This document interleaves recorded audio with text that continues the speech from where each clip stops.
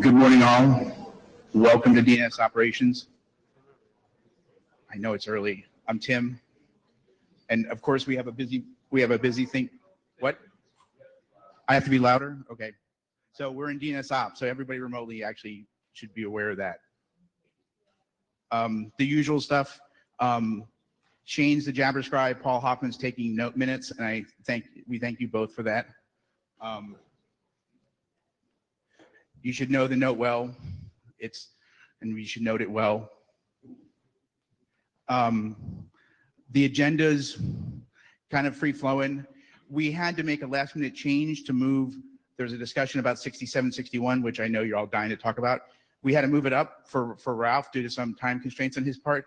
So um, we're trying to, but we have a hard limit on that because you know we can talk for three weeks on that topic.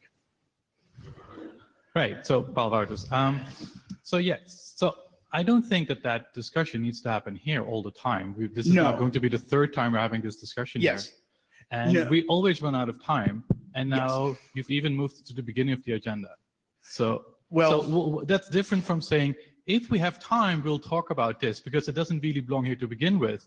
And now it's like, oh, we're going to run out of time, uh, and we've just talked, you know. in- Oh, no, this is instant more to talk about the design team and, and sort of what they're looking to. Hold on a second. You Okay. said it doesn't belong here? Because it does. I put it on the charter for a reason. Like, where else does it belong? Maybe I- I can? I I don't think, know. I think what, Uh, no, no, it does not. Thank you. Sit down. Well, I think what Paul's saying is we shouldn't do this every time, right? And I think, you know, this, that's not really going to be the case, but I understand your, your pain. Um, So on some document updates, on some document updates, since Prague, we've, um, we've got three RFCs published, including that wonderful dot onion that we all, um, were crazy about, but also negative trust anchors, which was a great thing, and key timing. We finally, um, got Stephen Morris to finish his final edits and we got key timing done. So we were very psyched about that. And in the RFC editor queue, we have DNS terminology and root loopback. Um, and we literally have is that six documents that we just, we've dumped on Joel. So we've basically done AD overload. Um, they've all gone through last call. We've done all the write-ups. We've pushed all the buttons. And so, um, he'll move that, he'll move those through. And right now in working in the group last call, we started off, I started off the chain query. Um, and so if there's anybody here who had any sort of complaints about it in any sort of large scale, they should get up at the mic and speak now. And we adopted, um, which was something we started in Hawaii, was the Lee Howard thing on IP6 stuff. Um, and, and actually, um, the only other there's two other documents waiting in the, in the queue, and that's alt TLD, um, which you can talk to Joel about. And the DNS roadblock avoidance, which we're actually going to talk about briefly here. You want to speak your mind? Okay. This is, Yeah, I guess so. It would be nice to have some clarity on what's actually happening with Alt TLD. Um, the authors asked for working group last call on September 14th, and we never heard back. We're fine to be told it's waiting, just it would be nice to know what's actually going on. I think you were just told it's waiting. Okay. So if, if that's, eh, yeah, if that's, if, if that's the official thing, then yeah, we should, we can do that. Joel, is that the official thing? He sort of, you know, okay. I say it is. Okay. The, the larger, more, you know, time consuming 67, 61 discussion. Okay. Um, the, the, the thing that, yes, Um, a proposal, Joel Jaeggli again, um, a proposal, um, for a sandbox that's safe to play in should be considered in the context of the larger problem. So, um, it's a piece in the puzzle and I think we probably need to engage in some more haste necessarily than we have in the past, but we had a lot of pieces in flight between this meeting or the previous meeting and this one. And so I think we need to um, um, think pretty hard about um, the problem and um, how a proposal like .alt um, fits into that. is that, is that, okay, is that good? Yeah. Um, and as I was sitting down with, um, Paul Hoffman as secretary yesterday, going through the list of documents, we realized as we dumped all this stuff on Joel, we, you know, there was a void there, right? And IETF abhors a vacuum. So we, I picked out things that have had lots of, dis- has had discussion on the mailing list that looking forward, these aren't adopted, you know, but things that we may end up start talking about going in, in the next year. So just to sort of get your head, you know, as, as places where we can sort of start these sort of conversations. Um, the last one, um, Tony Finch asked me to sort of make a comment about it. He wants to revise 2371. Um, and, and so he had published a, a, a bis version and I know there's been some feedback on the mailing list. And so we're gonna, he just wanted to sort of let people know that, um, he's looking to, to, to rev that. So, and a few of these that we talked about today, actually. But other stuff may become available as well as we find crazy cool stuff. Who knows? Mark Andrews asking Jabber about draft Andrews DNS no response issue. The- oh, Graph, The no- DNS no response. oh, his no response draft. I can take that. So that one, I've, I've, That one, that one has been through several revisions, has been offered on the working group list several times, hasn't been discussed recently. Um, And there was, the last time that Mark brought that to the working group, there were some very clear suggestions for revisions that um, I don't know if those revisions have been made. So if Mark could clarify that those revisions had been made, he's welcome to bring the, the document back to the group. there's, there's a good operational portion of that document that he, you know, is very great. And, and then there's a, a part that, um, while I understand where Mark's coming from, it, it's, it's trying to for- enforce policy on some level that we aren't, DNS op should, you know, we shouldn't be in the business of doing that. Um, and I've talked to Mark about that and, and I would love to see if we can cut out the pieces and, and put together a good operational draft because he's got, he definitely has done some good work in there. Um, So of course, you guys make the decisions. So if you're interested in what we're thinking about or what we're working on, there's the list of documents that Paul Hoffman sort of maintains as secretary, and, and I definitely have to thank him for keeping me sort of honest on a regular basis as to what we're doing, because there are lots of things in flight, as you know, and trying to make sure we actually cover everything, we don't let things slip, um, which I've been guilty of. The one thing that's in the queue is this DNS roadblock avoidance. And we, I've talked with Oliver and Wes, and basically it's ready for working group last call. There's this one issue where the authors punted on a problem. Um, and they sent an email to the list back in July and they want, they were looking for some guidance from the group as to what to do with it, basically.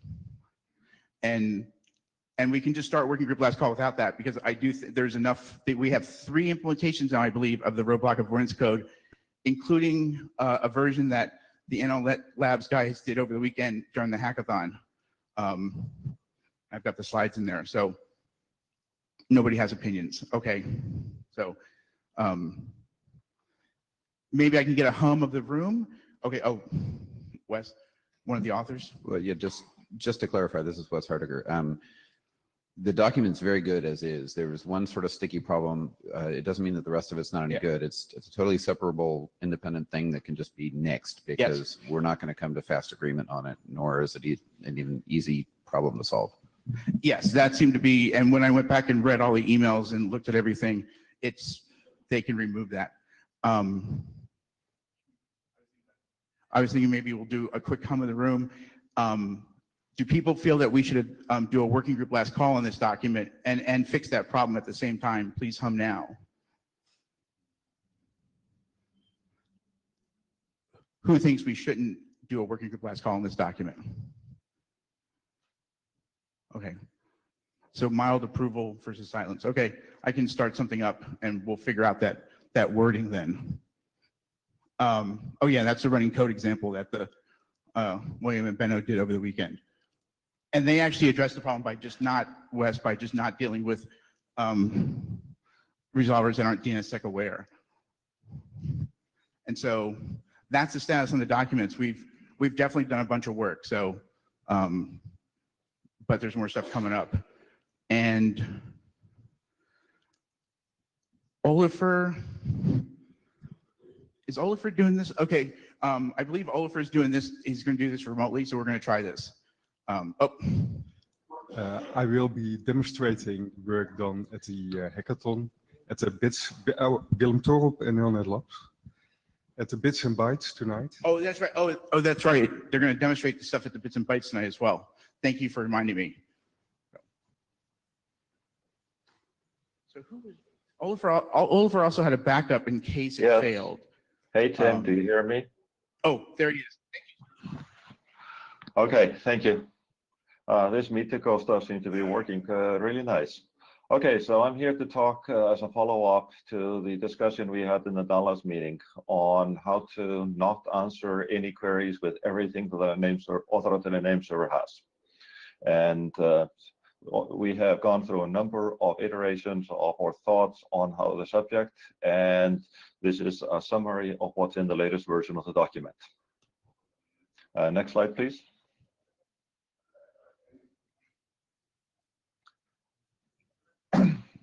Okay, everybody knows any queries are asked. There are many reasons why some people consider them uh, bad, there, and this includes it. And uh, yeah, so we know that. Next slide.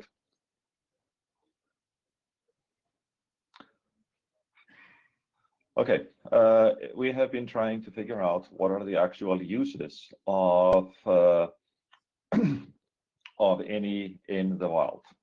Um, the most important one seems to be a debugging issue. A uh, human asks a DNS responder for information just to see what that responder has. Frequently, this is against authoritative servers or uh, resolvers. Sometimes people want to answer those, sometimes people don't want to answer it. So we want to be able to give back to people something that they uh, that tells them, no, we're not going to answer it. Next one is the probabilistic optimization that a number of implementations have done, various places. Back one slide.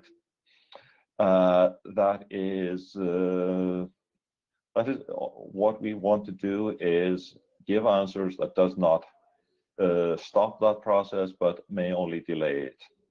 Okay, so we are not making the situation any worse. In some cases, programmers think this is a wonderful idea to do something, i.e. get A and quad data records together or something similar, not their SPF or whatever they want. That is easily correctable. But the biggest problem that me and others face is this is used on large scale attacks frequently. And while we drop most of these packets, there are some that get through, there are others that are not as good at it, and we don't want to give out big answers. Next slide.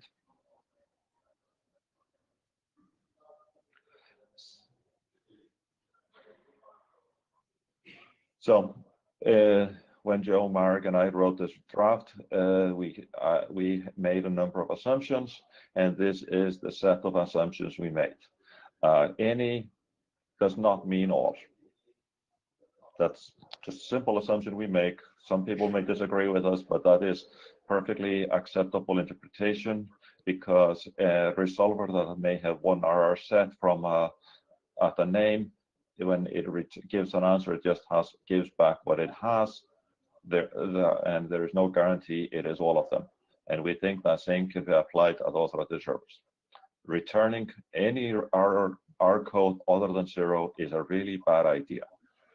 We're sorry we suggested it. Uh, we would really like something that resolvers can cache. So if somebody is being hammered with uh, any queries, they should not have to go back to the authoritative server. They can just absorb it locally and give out something really small. And we also believe that something is better than nothing. So giving back an empty answer is not a good thing. Uh, we would also like to have the, the answer give be friendly to a human that is looking at it so he knows what's going on. And the main focus of the document is to document in a standards document how to not how you should not return a big answer to an any query to prevent the amplification effects. Next slide, please.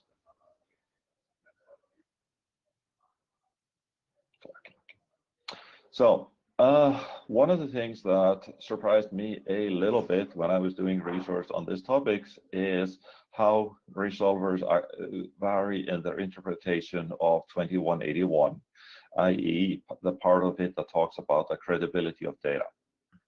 So some resolvers will, if you ask first an any query and they get a big answer back, they put it all in cache and then answer from that. Other resolvers treat that any data they get with an any query as an indirect query, and therefore they don't have the most authoritative data, and thus they will ask a query upstream. So returning a big answer to these resolvers serves no purpose.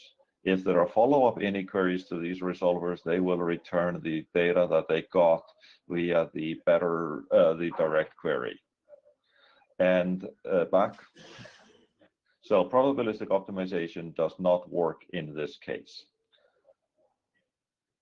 Going forward, the approach that we want to uh, go back, uh, go to the next slide.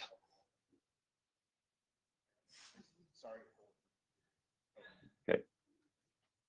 Our approach is very simple. We want to only return one RR set to a, any query we send that back and that should be sufficient.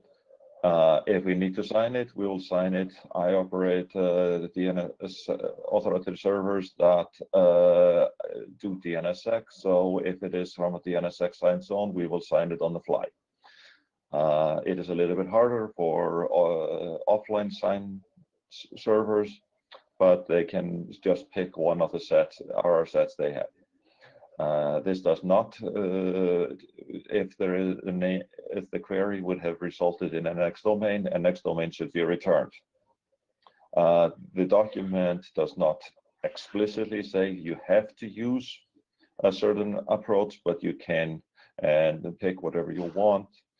We also talk about using a fake answer, i.e. answer that is only uh, returned when the query is for any, and uh, my servers today return HINFO. And the main reason we picked HINFO is almost all code deployed on the network that humans operate can display that record type. Next one.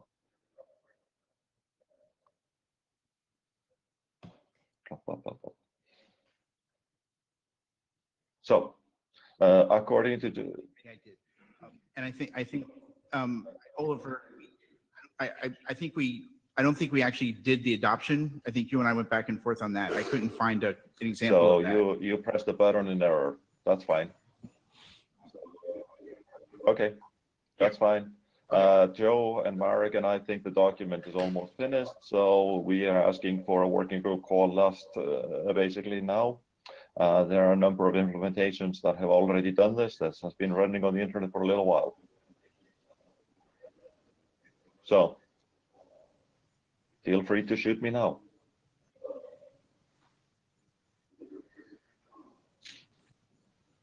Over to you, Tim. Oh, nope. Here comes Ed Lewis. Hello, Oliver. Hi, Ed. Uh, This is Ed Lewis. Um, I- I've already posted comments about this before, well, a few weeks ago.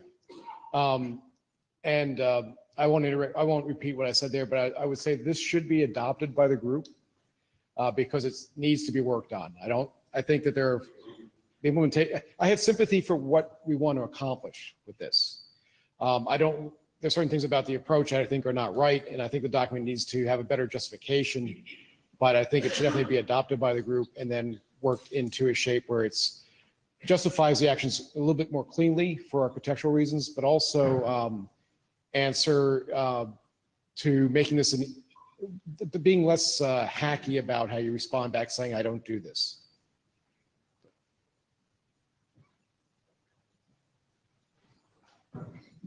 Uh, Of course, we will.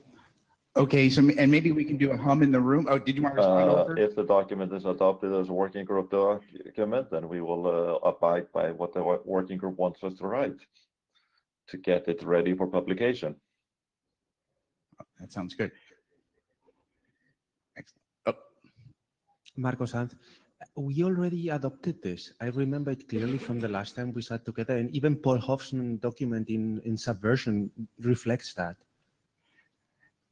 Yeah, I could not find something in the mailing list archive, which confused me. So um, we, that, that was the part that, that made me sort of stop and saying that was, was that. Um, But I figured we'd just do a quick hum of the room. Um, Who, who thinks this document should be, should be adopted by the working group?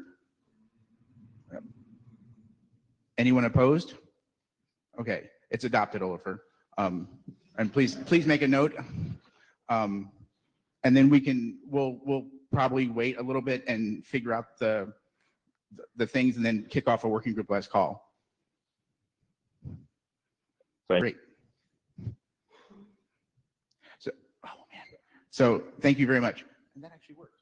Um, Um, this is your part of the meeting.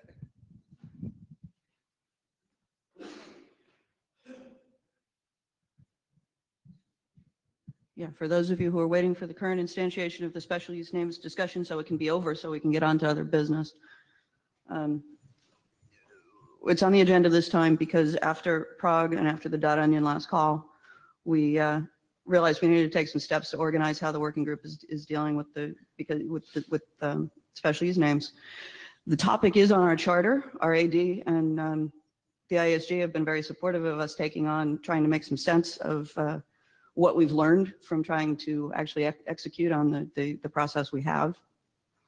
Um, We've taken some steps. We, um, we did charter a design team. We have a problem statement draft. We told them their initial task was to uh, attempt to survey the space and, and get a good look at what we had already learned in the course of the attempts we have made to execute on, on what the process in RFC 6761. Um, So there is a draft. There is um, a couple of folks who've been doing some work. We are still looking for a couple more folks to do work, although frankly, we are trying very hard to keep the design team fairly porous in the sense that we know there are plenty of people who can do good work on this. We're looking for reviewers for revisions of drafts at least as hard as we're looking for people to write, to work directly on the draft and so on and so forth. The other step we've taken is we've asked um, Ralph Droms, who is in the back of the room, to sort of take charge of herding the cats and making sure that uh, this effort makes, makes progress. Um, He's a very experienced IETF guy, and many of you know him. Um, Has some interest in, in the, in the problem space without being too close to it. And um, we actually really appreciate the work done already with the design team we have and um, Ralph's willingness to take on the cat herding chore. So uh, Ralph, if you have anything to add, and then um, we have a, a, a specific, a very specific and we think focused discussion to have here where we, uh, where we want to look at just do we have the right, have we identified the right issues? And looking at where we might go for next steps. It is very strictly, we- we're trying to keep it very focused. And yes, the time, the time constraint will be observed. Great, yeah, thank you. Uh, yeah, so, um, Ralph Droms, I'm currently on the IAB and I chair the DNSSD working group. Um, and I'm the, uh, AD who is responsible for shepherding RFC 6761 through in its, uh, current publication state. So when Suzanne and I talked about the design team that's looking at our experience with actually running the code uh, to put some names in to the special names registry through RFC 6761, it seemed to me that um, exactly as she pointed out, I, I, I have uh, experience in the area. I'm um, uh, sort of responsible for the hand grenade landing in the room to begin with, so maybe I ought to take some responsibility for, for jumping on it. And um, uh, I think I can uh, herd the cats to, uh, to get us to a good conclusion. Now, this morning, I just took, the- took on this role a couple of days ago. I am still very much in, in learning mode. So uh, the members of the design team have done a lot of work. They've prepared some slides. They have some um, some slides to guide the discussion today. I'm going to let them go ahead and do their discussion. I'm just going to stay out of the way, take notes, keep track of what's going on, and if needed, um, unplug microphone line so we don't, so the discussion stays within the 30 minutes. Great, thank you. Yeah, could you, before you, before you step back, there is something I hope you would say a word about. We had discussed um, the, because of the, the, the nature of this, of this work, we do have some pretty clear ideas about how we're going to make sure that it's transparent and we're en- engaging the working group. Um, If you Oh, okay, had, a- yes. had a couple of words on the, the state of that, that discussion. Yeah, we haven't come to a, a, a complete conclusion about how to implement this, but at the top of our list of, of important things to do is make sure that, that whatever we do, it's transparent. So we, we, we as a design team will be conducting um, regular meetings. We're going to post results from those meetings. We'll post minutes. We um, uh, will make regular reports to the working group. Uh, Between um, IETF meetings and certainly at IETF meetings, and we will be happy to accept your input, your discussion about any of the things that we post in minutes uh, and, uh, meeting minutes, et cetera, uh, all along the way. This is not a, um, we're going to go off in a room someplace and uh, as if by fine magic, a- an answer is going to pop out. We're going to be running a process because we're the collection point for the input from the working group. We're not the, the, the, the, the extra smart people who are actually going to do the work. I mean, actually make the decisions. I said, we're going to do the work, we're not going to make the decisions. So, Yeah, um, the only thing I'd add to that is that, um, to, to address the point that was made at the microphone on the agenda bash, we are not wedded to the idea of spending working group time and face-to-face meetings indefinitely on this. Oh. We're going to do whatever it takes to make progress, which is probably going to include not only pushing as much discussion as we can to the mailing list, but, um, also we are perfectly open and in fact encouraging of the idea of doing interims devoted to the topic, if that's what it takes, if that's, if that's helpful to people. yeah, my, my idea in, in uh, coming back to the, to face-to-face working group meetings is more in the interest of um, high bandwidth information sharing rather than face-to-face discussion of, of what's going on. That all should take place off the mail, or on a mailing list or in interim meetings, not Right. uh, at these meetings. Okay, so we don't want to get stuck on a process discussion, so you guys, and then we'd like to ask um, Peter and, and, and Alain to do the, the slide deck.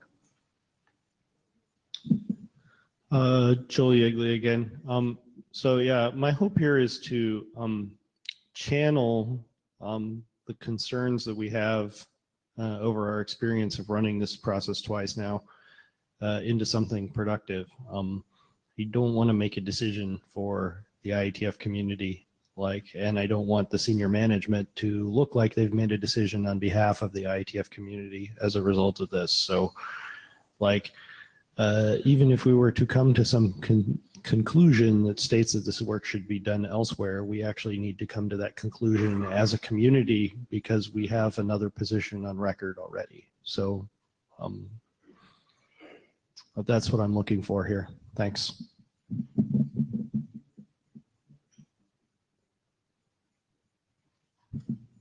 Uh, I'm Andrew Sullivan, um, and apparently we've got a rock star microphone up here. Um, so, so we we keep talking about this like here it's a singular problem space, and we just said this problem. Um, and I'm wondering whether one of the possible results from this, I, I guess I know the answer to this, but I'm trying to confirm it on the record, uh, is that this is actually multiple problems, and we're just going to split it up. That's one of the ideas I hope we're going to be hearing from the working group about, but I'm personally no hats inclined to agree with you.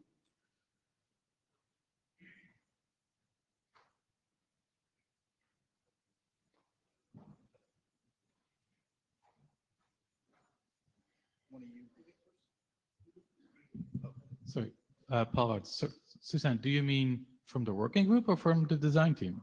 I'm sorry? You said you, you hope to get advice and, uh, on, on, on whether this problem would be I want to hear from the working group as feedback to what, the, the design team is just doing the work of how do we set up the question. We can end up throwing out the work that's been done so far. We just had to start somewhere. Okay, so just call me really confused. Je- Geoff Huston, plus confused. Um, I sort of heard, oh, the design team is going to go off and do what it does, but they're going to report back regularly, but there's going to be no working group time to actually talk about what they're reporting That's not on. what I said. So that's what Ralph said. So I, I listened to everyone, not just you. So I also heard Joel and I really didn't understand anything he said. So, you know, it was, it was great, but it didn't add to my comprehension of this process as being a process where folk who have an interest in the topic and wish to contribute to working through what is acceptable both for the IETF and to the broader community who have interest in names can actually listen and be heard. And what I heard was this design team is going to go off and regularly report. That seems a bit one way to me. No, I, I did say that we would, we would be um, interacting with the community and- and, and accepting community input, just not here in face-to-face meetings and in, in, in IETF meetings. And I wouldn't even say, you know, chair hat, we're, we're not, all right. You're right about what the process needs to be. That ha- absolutely has to be the result. I think Joel was clear about that. I think all of the direction and all of the input that we've gotten has been very, very clear that this has to be by, you know, this has to be an open process. What that means is we are listening. We've picked a place to start. And in fact, if the working group wants to throw out everything that's been done so far, I'm not sure what we'll do next, but we picked a place to start. We are open to using any of the processes and tools available to us in the IETF to make progress. If that means people want to continue to have working group, you know, face-to-face meeting time on the topic, if that's helpful to people, we're happy to see it. I think this is helpful to people. I think this is as big a issue now as it was when, was it 2860 or 70? When whichever one it was that did that original deal around addresses and names and saying to other, you know, to the IANA, 2860. go sort of. I've got it half big a- memorized. It's as big a deal now as it was then. Okay. And therefore it deserves time and attention for folk who wish to attend and participate in considering this again. Great. All I meant to point out, and I think, I think we're demonstrating here that we're willing to err on the side of openness and discussing what people want to discuss. Although we are not going to, again, not, not going to be able to allow, you know, indefinite, but just on the process discussion. I'm open to continuing to spend time on this in the face-to-face meetings. I am also more than open to doing things like scheduling interims, um, certainly the mailing list, any of the tools and processes available in the IETF to help make us make progress on this. So I'm sorry if, if we sounded like we were saying anything else. And I see Warren and then Jari, and I can't very well say no to either of them. Hope you see me as well. But I would very much like to get onto the substance of the discussion so we can decide if we're getting near a problem statement where we can then decide what to do with it process-wise. So Warren Kumari, kind of following on what from Geoff said on, you know, how people can participate. Um, on October 8th, which is about a month ago, the chairs asked for volunteers who would like to participate. And we never heard back. And I think people are fine not being on this, but it would be useful, I think, for people to know, you know, who's actually participating, what the long-term plan is. Is this the design team? Is it going to grow? Is it not? You know, just something like an acknowledgement or go away, we don't want you. Any of these are fine. Yeah, yeah, I just wanted to provide sort of an IST into this, and, and part of the reason that we're discussing this, of course, is, is that we said um, there's an issue here and we need to look at that. Um, and we felt that it's not something that we should fix, but you, the community, should fix. And exactly how we, you know, handle that in detail and the design team, this community discussion, what uh, particular meetings you do that discussion, that's up to you. But it, you know, the key point is that the community needs to decide what to do here, and and that that's what we wanted to achieve. Um, the other observation I would make is that uh, just kind of hoping that we'll we'll get to the the actual substance. I mean, obviously the design team, so just the design team, but we should um, get to discuss the substance also, and not just when we discuss the substance. Thank you, Jari. And to Warren's point, very briefly, um, our apologies for not being more communicative about that. Um, the process has not held together particularly well so far, and that's why we actually appointed a lead. Um, the we're trying not to be too specific on the on the, the the final makeup of the design team because frankly we wanted to make sure that work got started. Um, but we're trying frankly to keep the the process in the service of the result rather than the other way around. Okay, cool. Thank you. So I guess, the- the- I guess the 30 minutes start now, right? So, good, good, good morning. Uh, My name is Peter Koch. I work for DENIC. I do not work for Monty Python, although I feel like in one of their movies already. Um, So, uh, this started in Prague with a presentation given by Alain and myself. Um, After Prague, we got Joe Abley on board, uh, who took most of the work on himself to um, digest the slides into readable text, full sentences, and so on and so forth. And you've seen, you hopefully, how many of you have read the draft? It's more than I would have expected. Thank you. So you've seen uh, the individual submission. It's not an adopted document because we're a design team still. Actually, we weren't a design team at that time, but let's not dive into that detail anymore.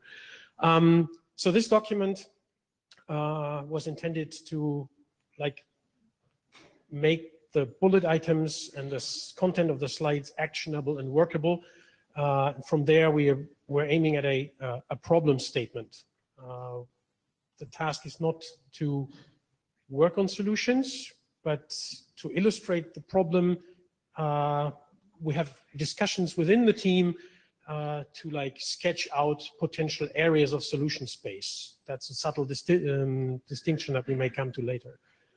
So you find the draft problem statement there. Uh, everything else was mentioned. I guess I can skip that.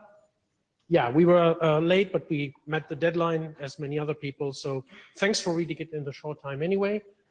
Um, so we've sketched that in three different uh, aspects, architectural, technical, and organizational aspects of implementation of the protocol, protocol in quotes. Um, what we mean by that is the process described in 60, uh, 67, 61 that was executed twice, actually, once for 67, 62. That was the initial uh, local TLD assignment, and then again uh, with the Onion TLD. So architectural, um, there is an observation, it was discussed on the mailing list and on uh, various other occasions that namespace is not just the domain name system. There might be other namespaces that not only not make use of port 53, but have completely different concepts. Uh, some may remember .uucp, .bitnet, and other stuff, and completely different namespaces. Um, usually, there's a way to signal which namespace to select and in which namespace to resolve names. The prime example for that was uh, the local TLD, or non-TLD, I should say, and uh, the other top-level domain like selectors that I just mentioned uh, and that, that have been used in the past. Uh, there are different ways to signal this namespace selection. It could be on the left of a URI by the scheme. It could be to the right, the suffix, the, what we call a top-level domain, or somewhere in between, which actually doesn't exist yet, but could be in, in solution space. Um, and there are a couple of precedents for namespace selection happening with a suffix that looks like a TLD, but probably isn't. And uh, the most prominent, well, localhost uh, predates all this, but local and onion as TLDs and BitNet and UUCP and you name them. so how do I know that something is a suffix that should select the namespace and not part of the namespace itself? Especially, how do I know if my implementation predates the instantiation of that namespace?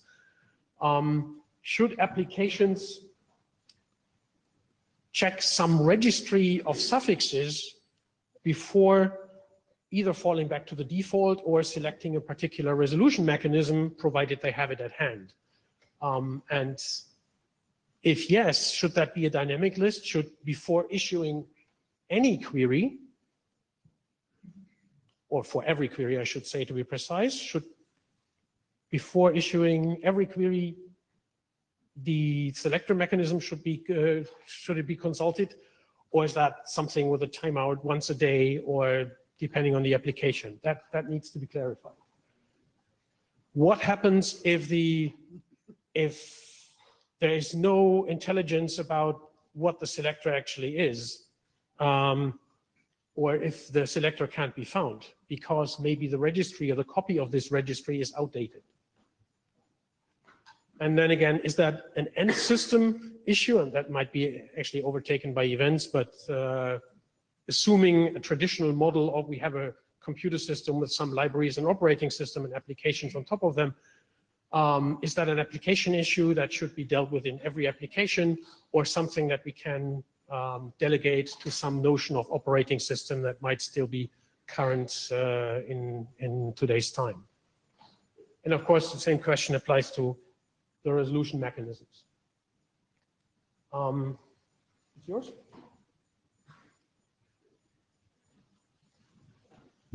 So the next set of issues are about organizations. Uh, we divided into two categories. What is in, in between organizations, so inter-organization, and what is within the IETF, so intra-organization, and we call this a process. So um, first, in between organizations. Uh, so when we ran this process for uh, first local and, and then onion, it was clear that there was a lack of clarity between 67, 61 and ICANN IETF MOU 2860. Um, the MOU said that all the names are policy issues, it should be dealt by ICANN except for technical stuff. And technical stuff is vague. It's not really defined. There are examples of that, like things like in .arpa. That was the example given in 2860. Uh, 67, 61 made a different reading and essentially extended what is technical to things that were applied then to .local or then later to, to Onion. Uh, so there's, there's a bit of a tension here. Um, now, people have said, well, maybe this should be simply be handled by ICANN because this is name. It should not have anything. Um, so a couple notes. The first one is there's a GTLD program in ICANN, but the current round of GTLD is closed. There might be another one, or may not be another one, don't know yet, but the current one is closed. Um, but moreover, the current GTLD program was really aimed at delegating operational TLD. If you look at the application guideline, it was really impossible to simply reserve a name without operating it.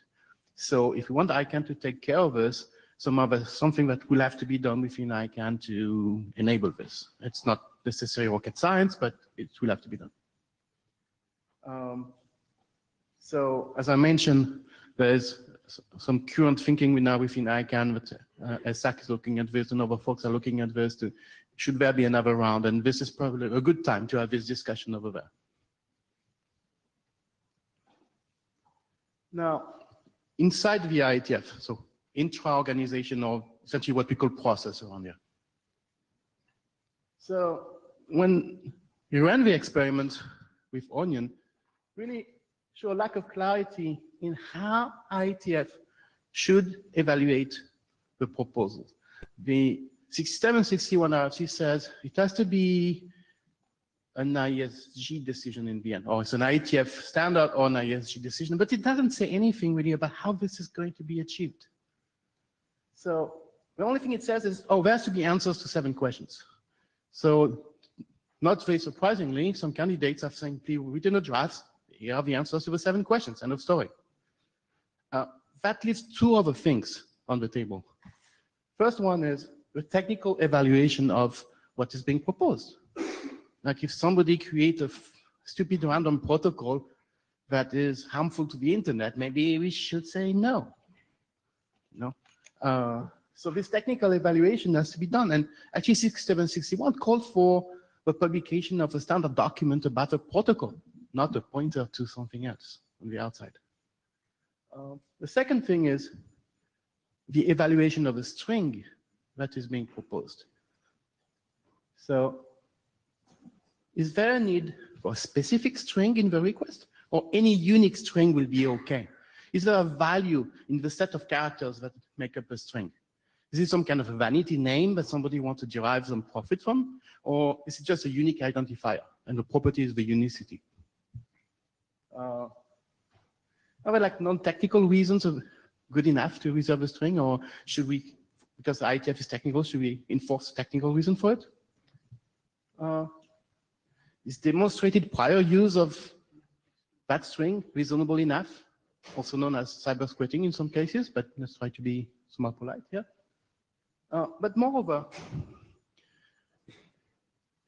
what name is reasonable? If, you know, just before, it was just Halloween a few weeks ago. And the day before Halloween in the US, there's a tradition of mischief night, where people do all kinds of weird things. So there is a union of a mischiever who may define a protocol. And that protocol will be about, you know, exchanging where they are, where they want to do mischief. And they go through this process, technically sound, and what it suggests is dot UM for the union of mischiever. Would that be a reasonable choice for this community to accept? For those who don't know, UM was United States Minor on the Islands, and it has all political connotation to it. We have many other examples of that that could create problem. Um, on the ICANN land, there's a process to review those TLD application, to look at the name and to see if the name has some kind of connotation to it. Is it, for example, something that is potentially offensive to some community? Or is it something that has some uh, political ramification? Um, you may or may not know, but there have been a lot of discussion about Africa, Amazon, and all those things, and it's endless discussions. The process to run this is at ICANN is very complex, very heavy, very expensive. An observation is IETF currently does not have any such process at all. So,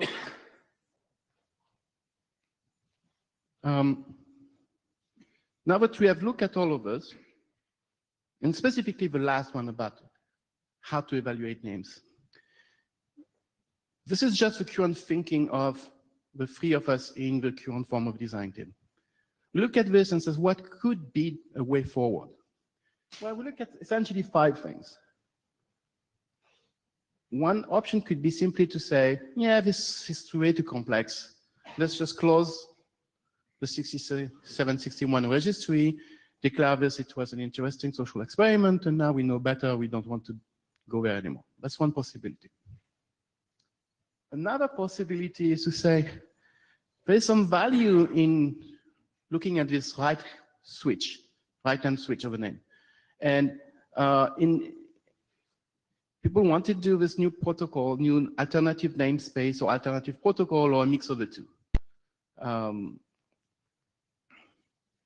Stéphane Bortzmeyer was observing in the mailing list yesterday that sometimes it is the same namespace with a different protocol or different protocol and different same protocol, different namespace or a mix of the two. So there, but there's some people who found some value there. So if we could constrain the organizational problem both the inter-organization problem and the process issue within IETF, maybe there's some value there. And we have noted that things like the dot alt proposal fit in that category. There are other things that have been suggested like XXS dash and some kind of a hash so that we remove essentially the value of being on the top level.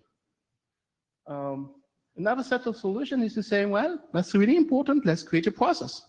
Now we can argue, should it be an ICANN process? Should it be an IETF process? Should it be some kind of a mix of the two? But that's one possible set of way forward. Let's create a full-fledged process that will be built from learning what we have seen so far and doing something better. Um, another set of solution is to say, well, that was using the right end switch. Maybe we could use a middle switch. If we remember, like we could use a different method, a tag at the end of a name, or put something in the URI that says switch somewhere else. Maybe IETF can charter some work in that area and to say this may be a better long-term solution. I would first observe as none of those are essentially exclusive from the other. We could pick a couple of those, we could pick none, and there's of course the five possibility, fifth possibility that is something completely different. This is just like uh, a brain dump of where the three of us that have been working on this for last couple of months are, and of course this is open for discussion. Okay. So the principal thing I think we want to make sure we address before we worry about whether the, excellent. You are all going to talk about whether we've identified the right issues, right? What do you think is missing from, not this slide, Why is this slide so- there so- then? But the discussion of what the issues raised have been? Don't give us that slide and tell us we can't talk about it. Come on. Yes, please. Yeah, um, can you actually, if, if you go to slide eight briefly, the, your last slide. Right, and number D, the HTTP dot slash selector. So now go back to slide number three, please. Sorry, is it four? Maybe it's four. Yes, four. Notice one of them is in blue. I rest my case about the discussion of any selectors. What exactly is that case for the record? What's, what's your claim here? What, what's the point? The, the, the point is if any other kind of selectors would have worked, like we would have already be able to use the, the, uh, some, some other DNS class, for instance. Like there are no other selectors. Okay, like thank you. Discussing Do other you think that's selectors. covered is in this, just- presi- do you think that issue is covered or is that something they need to add to the, to the draft? No, I think they should just stop the technical discussion on other selectors because they will never be selected by humans. Okay, thank you. Hey, Louis. Um, Actually, I was going to pick on the same thing Paul was, but for a different reason. Um, the Discussion about whether this belongs to DNSOP. I've heard the uh, AD say it belongs here for a reason. The reason why I have a hard time accepting that completely is the same thing that is on slide eight D. Um, Because I don't know that the expertise to, to evaluate D is in this group. Correct. That's So- why we're not doing that yet. No, I'm just saying, this is, this is why I'm having a hard time deciding if it really belongs. Do you have an opinion about whether the draft has identified the correct issues? It's on the way there. I'll put it that way. Okay, Could you, qual- could you Syntax? quali, could you qualify that? As we're going through there, um, I would call probably things I consider lower level nit things I don't really want to spend time on the mic with right now, but I think it's getting towards that. It's going in the right direction. Thank you. Okay, yeah, syntax. And I, I'd appreciate if we could refrain from discussing the solution space sketch on slide eight, but instead go back to the question, have we identified the problem correctly? Um, Stéphane Bortzmeyer. Now I'm even more confused. I will go back to the meta discussion. Uh, we have been told that the goal of the design team was to work on the problem space and to describe the problems, which is indeed what the current draft more or less is doing. Now there is a slide about the way forward with a lot of possible solutions to a problem which is not defined, not even agreed on. And then you told us that we should not discuss the slide that we just saw. So Uh, I could, we- I could have, I could have presented a slide with a picture of my cat, which I don't have, but it, which is Can we heard by stop Ralph. discussing the slides and discuss Exactly. the draft, please? Yes. So to be sure that I understand, uh, the goal of the design, the mission of the design team the, uh, is to uh, describe possible issues that some people have with RFC 6761. Is it limited to this or does it include uh, new wild, uh, new URI schemes or grammar or things like that? My understanding as a member of the design team is that developing new URI schemes is not part of the mission. Suggesting that that might be in The solution initials? space could be an interesting addendum to the deliverable of the design team. Is that a satisfactory response? If you have an opinion on the draft, please send. Actually, you reviewed the draft, and thank you very much for that. That's incredibly helpful. I have opinions, but after. At the end of the line. Uh, my name's Andrew Sullivan, and um, uh, I want to respond to some things that I think are in the draft and also that Alain said it, uh, in his presentation. Uh, so Alain said, um, maybe it's easier just to talk about precisely what he said here, that um, uh, 6761 extended the meaning um, that's in RFC 2860 um, uh, uh, uh, about what are these technical um, domains. Uh, I don't know that that is self-evident. I don't know that that is the plain meaning of the text. And uh, in, in, in 2860, I agree that it is possible that there would be a dispute about this, but it also turns out actually that uh, 2860 has a mechanism by which you could resolve such a dispute, and that's to ask the IAB because it's the final um, um, decision maker on this.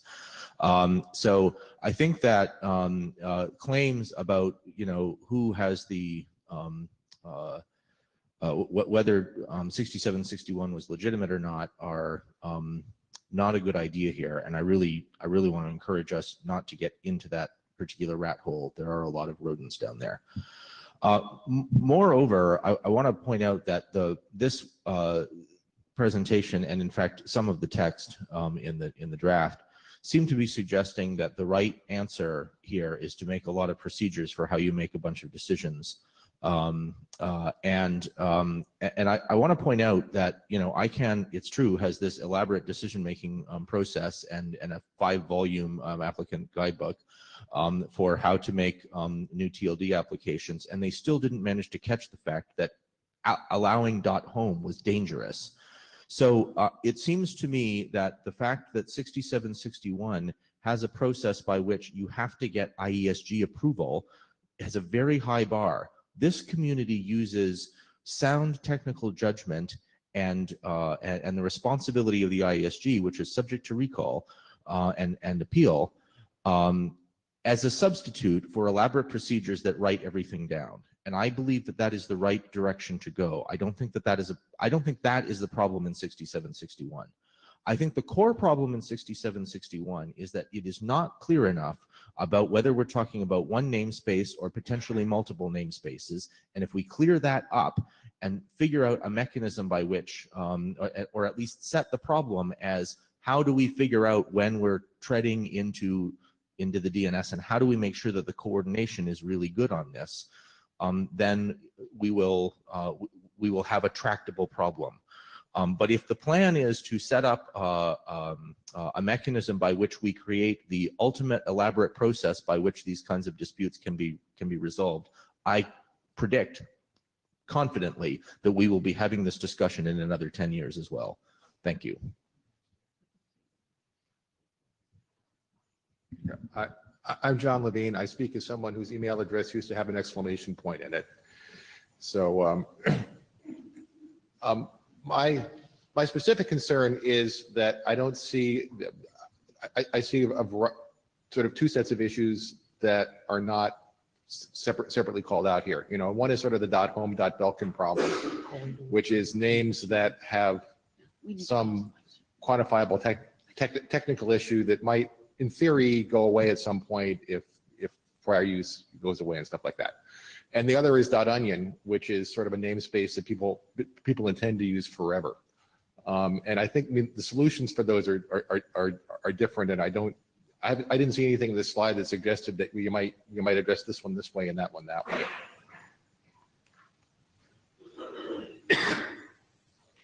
Keep going. I just quickly wanted to say something that I hadn't heard yet, which is. Who are you? Oh, hey, I'm Warren Kumari, which is thank you very much to the authors of this document. I think it's really useful and you wandered in, wandered into shark infested waters knowing that there are sharks in there. Um, I think the document's really good and if people haven't read it, they should. Hello, Doug Otis. Um, I think we have a lot of history showing that everyone expects to have the resolution, uh, if it's different than DNS, to be seen within the, the, the rightmost label, like dot local, local host, perhaps home. And as these things evolve, I think that that is the direction forward. And if we're going to have programs that know to watch for these things, I think we need something like .arpa, which maybe we can have .alt or some, some method of listing all these exceptions. I hope they're not going to be that many. Maybe I'm wrong. But, but I, I see that this is a growing problem because even in the home networking group, they just called it site local. And so that means you have namespaces that are going to be injecting themselves and perhaps stepping on proper DNS names if they're not aware of what they are because things change over time. So I think it, be, it behooves us to work on a scheme to make sure that that doesn't become a problem in the future. Wonder if I could interrupt for just a second. Who all is in the mic line now? Would you raise your hand if you're in the mic line? Okay, great. Thank you. We should probably cut the mic line after. Okay. Yeah, you, you, Ralph's got that power, so. thank you. Geoff, Geoff Huston, one of the old farts who was around at the time when 2860 was done and actually remembers life before that and the reason why we did it. I think the draft is light on an analysis of what 2860 was intending to do and light in its intra-organizational analysis on precisely what the role that the IANA delegated to ICANN is all about in terms of the looking after the DNS namespace. The analysis seems to be weak insofar as what 2860 was intending to do was to say to the IANA, that namespace, irrespective of its means of resolution and its protocol of resolution, that namespace is something the IETF is no longer capable of determining policy regarding its distribution. Please go figure. And we all know what happened in the subsequent events, but Geoff, Geoff, I'm sorry to interrupt. I'm, I'm not clear about, I'm clear about the result that you just said, but I, I missed. the analysis in the draft of the history of that particular document that set this up is weak. And I was okay. including some explanatory text where I thought it Yeah. was weak. Yeah, yeah, If you yeah. can take it as read, I'll press on. No, no, I, I, I missed the statement. You think that 2860 does a delegation of the entire namespace to ICANN management? With the, you know, exactly as it says, with the technical exceptions. Okay, great. Thank Which you. is really where this whole thing sort of opens up. Yeah, I'm But sorry to it's not- I wanted to get that right. It's not that there's this, it's only the DNS resolution protocol, et cetera, et cetera. It was the entire namespace at the time. And what I hear here in this document is some certain amount of trying to create, well, if it's a different resolution protocol, do we go and look over the original advice? And maybe you might make that explicit as a yes or no. It's the namespace that went, irrespective of its means of resolution, might well be something you might want to say. In terms of the intra-organizational roles, again, you might have to look at what has evolved and who has what role. There is no doubt, in my mind, that the IETF is not the Court of Appeal of ICANN. So if you don't like what ICANN's doing, coming here doesn't give you legitimacy as a complainant to ICANN. And I don't think anyone would like to even see that happen. So in terms of intra-organizational roles, I think the IETF respects, I'm going to use the word integrity, but it's more about completeness. If you have a problem over there, the solution lies over there. It doesn't lie in this room. And you need to make that quite explicit, that this is not a pressure release valve for someone else's problems.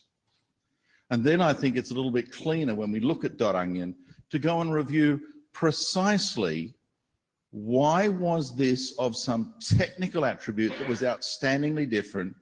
Or were we swayed by the politics of that other room at the time that this was a useful thing that they weren't doing? My own personal analysis is the latter, that that was a bad mistake for bad reasons and a bad precedent. But I'm going too far. What I'm really saying in the draft is you should make some of that more explicit about the completeness of ICANN and the IETF is not trying to judge it. And that realistically what is over there is a namespace, not just the DNS resolution protocol. Thank you. Thanks. And I am going to cut the line, Thank you. the mic line here. Okay. Uh, Thanks. Uh, Wendy Seltzer coming to you from the application layer and uh, W3C. Uh, So I, I- I think one of the, the useful things that this draft starts to do is to, to help us in thinking about the layering uh, issues uh, that the, the domain name space and DNS serve and that they might, uh, might serve differently. Uh, That applications can use domain names um, and use some of the infrastructure, but not all of the infrastructure of, uh, of the DNS resolution. Um, and uh, helping, helping us to, to, to think about that and, and use those uh, more effectively um, would be valuable. Um, I won't rattle onto the, the, the slide of selectors in the middle, um, but uh, don't make us go back and add even more complexity to the URL spec, please. So are you, are you favoring adding the complexity to the, say, the DNS or the politics around that? The the complexity obviously has to go somewhere. Um, yeah, I, I, I, don't think that there, that, that- that's a necessary, uh, uh, alternative. Uh, But sure that there are political, uh, questions, but, uh, the, the technical, uh, architectural questions of, uh, what, what we need to serve, um, applications and to allow them to do, uh, switching among, uh, namespaces. So uh, as a question for you, coming from the application arena, uh, is it something that has to be done at really at the application layer? Or is it something that the application would like to use the underlying operating system and libraries to make the decision for it? I think that varies by application. And, and no. there, would, It doesn't give me much solace, but thank you. Well, but it sounds like there might be some text required that, that would be helpful to have in the draft. Um, And, and if you would, if you would send text. Thank you. Um, Stéphane Bortzmeyer. Now, um, to talk about uh, practical things and not uh, metal process, uh, what I would like to see in the draft we, uh, is something which is more in line with what it's supposed to do, which is a list of things that are missing in 67, 61, and that should be added later. A typical example, it's uh, one I suggested on the mailing list yesterday, was uh, to have some sort of formal language in the registry, so you can automatically derive application, resolvers, libraries, etc., from the registry just by running some program to extract the data and turn it into actual uh, rules. Uh, today there is, uh, it's indeed one of the problem of, one of the limits of RFC 6761 is that the only solution for an implementer today is to read the registry, find out the rules. Uh, unlike what you say, there are, rules because RFC 6761 say that you have uh, five, seven, seven questions to answer on what is the expected behavior of the different components. The only problem today is that it's in natural language, not in a formal language. So this could be an interesting uh, spending of the time of the working group to develop such a language and to improve RFC 6761 in that respect. But uh, another possibility, which, has, uh, which I also mentioned, would be to uh, uh, write an informat, informative RFC about possible um, criteria for us uh, when dealing with an application, for instance, explaining uh, what, uh, that it could be interesting to consider the technical merit of the application, uh, the actual level of deployment, which is something which is not easy to measure, this sort of thing. So this would be practical and useful addition to RFC 6761, much more useful than discussing if we should uh, copy the ICANN process. I, I love the ICANN process, but maybe copying them blindly in the Mhm. IETF is not a good idea. Uh, Stéphane, duly noted. I think that um, we did the gap analysis uh, on that, diving into patches or band-aids for the existing documents could be a bit premature um, at this moment. Uh, On the second note, um, I sense a set of different interpretations. You mentioned that there is an application and there should be in- information in there how it, how that is dealt with. Um, I would suggest that the sheer idea of applications that need to be dealt with is already not in line with the spirit of 6761, which says this is for standards track documents. It also says IESG approval, but if you go back to 5226 and read what IESG approval actually means, you will see that it essentially means standards track except exceptional circumstances, which actually may or may not have been proven in the previous case. Um, so I guess you are like two steps ahead, but again, duly noted. Thanks for reading and very, very many thanks for commenting. So Stéphane, I have a question for you. So you mentioned that you don't want an ICANN-like process in IETF, and I have a lot of sympathy for that position. Now, the question is, to go back to my example of the mischievous, if those mischievous arrive and have a protocol that, and they suggest to use .um, what should IETF do? I think that uh, Andrew Sullivan already replied to this question. We have already a mechanism for decision at the IETF, uh, and, um, and it involves even possibility of appeal. For instance, if someone is not happy with the registration of .onion, there is an appeal mechanism. Just use it. But as I said just before, it could be useful to help IESG to decide with an informational document giving possible criteria on explaining the uh, the limit. For instance, during the discussion on dot .onion, there were a lot of talk in the DNSOP working group about uh, actual deployment. Is there an actual deployment? Uh, yes, no, on how to measure it. This sort of discussion could be captured in a document, and this would be an, uh, a useful document. But uh, defining a process as uh, as it was said about the ICANN applicant guidebook, uh, uh, you can write 600 pages of rules for process for selecting uh, uh, or approving a string and still have problems. So better not to go into that, that direction.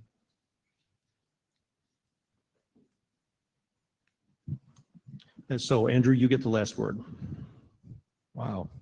Uh, my name is Andrew Sullivan uh, again, and I should have made this disclaimer earlier, although I made it in the Jabber room, but I'm making it now. It applies to the earlier comment and it applies now. Uh, I uh, am speaking only for myself. Um, I really, really want to disagree with what Geoff was suggesting, that more um, history or analysis of um, 2860 goes into this draft. I think that that is, I, I I think that that is a chasm out of which you will never emerge if you try to do that. So please don't do it. Um, it, there's no question that there is a problem in the way that 2860 um, uh, did this assignment in that it, it, it's true. It seems to say, well, we're giving them um, domain names and therefore we're giving them domain name space, except that there's a bunch of stuff that it then says, but we're not giving them all of the domain names. And that is, that's where the, that's where the problem is. I agree that there is some, some ambiguity here, but I do not believe that it is useful for this working group to try to produce anything um, that analyzes this because I think you're going to run smack into the problem of who actually has control, uh, change control over that MOU, and I don't believe it's going to be this working group. So I strongly discourage I hope you not. from going into that problem. Thank you. So can, can I, can I ask a question, Ralph? Yeah, sure. Um, so I've heard multiple times today that uh, certain aspects of the topic um, might not be within the remit of the working group.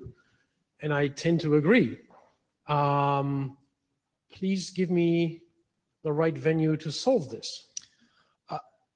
I, I cannot, I cannot appeal 6761 because that ship has sailed. Assuming for a second, I'm not taking any position, assuming it was an unconstitutional document, what should I do? So if you actually think it was an unconstitutional document, then what you need to do is get IETF um, consensus to just kick it over. Um, so, so if what you want to do is say 6761 was a mistake, uh, and you want to uh, you want to make that argument and say, in fact, um, uh, you can't do reservations this way, then that isn't an interpretation of the MOU between the IETF and ICANN. I don't believe that that is um, the task that the AD has set for this working group. Um, but I will note that 6761 didn't come out of any working group. It um, it went through the ISG separately. Um, uh, that may be because of certain functional problems with the working group where it might have properly been handled. Um, I'm, but I'm not going to comment on that. Um, uh, I think that the, the, the key point here is that I don't believe it will be productive for the working group to try to do um, historiography on 2860. Um, I know that there are um, disagreements about what the intention might have been, and I know that some people feel strongly that they were there and they know. Um, the, um, the facts in the academic world, however, tend to make us or give us reason to believe that people who were there are not always the best historians of the era. And I just don't want us to get into that problem. It's too big a problem and it's one we can't solve anyway. We're not competent to do it, so let's avoid it. So, um, Andrew, uh, to responding to your point. Hold on a second. Um, First of all, we are running into be- overtime. um, And also, I believe our AD has something to say towards this at the same point. And then I, I, I do want to hear what you had to say, but I think Joel has been, will, will have something to add. Um, Can I answer? Go ahead. Thank you. Um, I agree with you that a lot of this discussion has nothing to do with DNS and has even less to do with DNSOP. That being said, I don't think I said either of those things. I, I- I, I think what I said is interpretation of 2860 is not this working group's job, and I don't believe that you should do it. That's all I'm trying to say. Okay, so this document was aimed at highlighting issues, not at solving them. So essentially using the same answer that Peter gave earlier about the URI scheme. We may want to say there's an issue here, but we're not going to solve it. I, I, I think that it would, it would be fine for you to say 6761 does it this way. Some people don't think that that was legitimate, but regardless, there is a dispute about how exactly to manage the allocation of these names. One possibility is that it's, it's illegitimate and we should just shut down 6761. That is one possibility, but you don't need to get into what exactly 2860 means in order to state any of that. You can just say, there is some disagreement about this and I don't care how it happened. I, Yeah, I agree this with is- what you just said. Thank you. Yeah, this, this does sound like something that can be hammered out in text uh, to revise the draft, which is what we were after. I'll defer to our. Yeah, for- so a quick comment with respect to the direction um, that we got um, in our charter, which is that um, the question uh, that the charter was intended to address is um, what to do about 6761. And if the answer is you write a document that says we don't like it, that's a perfectly valid answer.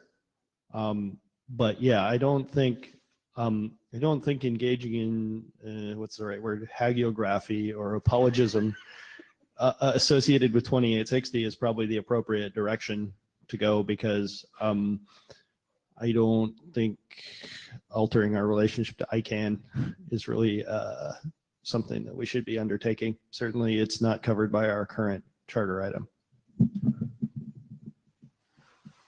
Thank you. Yeah, Riak, and I guess I'm repeating what uh, Andrew said and Joel said, but indeed the IST asked, you know, please look at 6761. We did not ask, please look at RC 2860. That's not on the table. We, we can work out how to, I, but I think what I'm hearing is there, it sounds like there's been some useful feedback, I hope, to the team on the, the problem statement. And we'll, um, I hope, go back to the list. The thing I'd like to see from the, the, the team sooner than later is, um, some sense of what feedback you got from, from the session and some sense of when they, there, there might be a revision, a revision to the document. But thank you. Thanks, everybody, for your patience and your input today. I appreciate it. It's been a big help to me. Thanks. So who's next? Yes, thank you. I think, I think, yeah, I think that's Andrew channeling Joe as opposed to the usual case, which is Joe channeling Andrew. I wouldn't do that.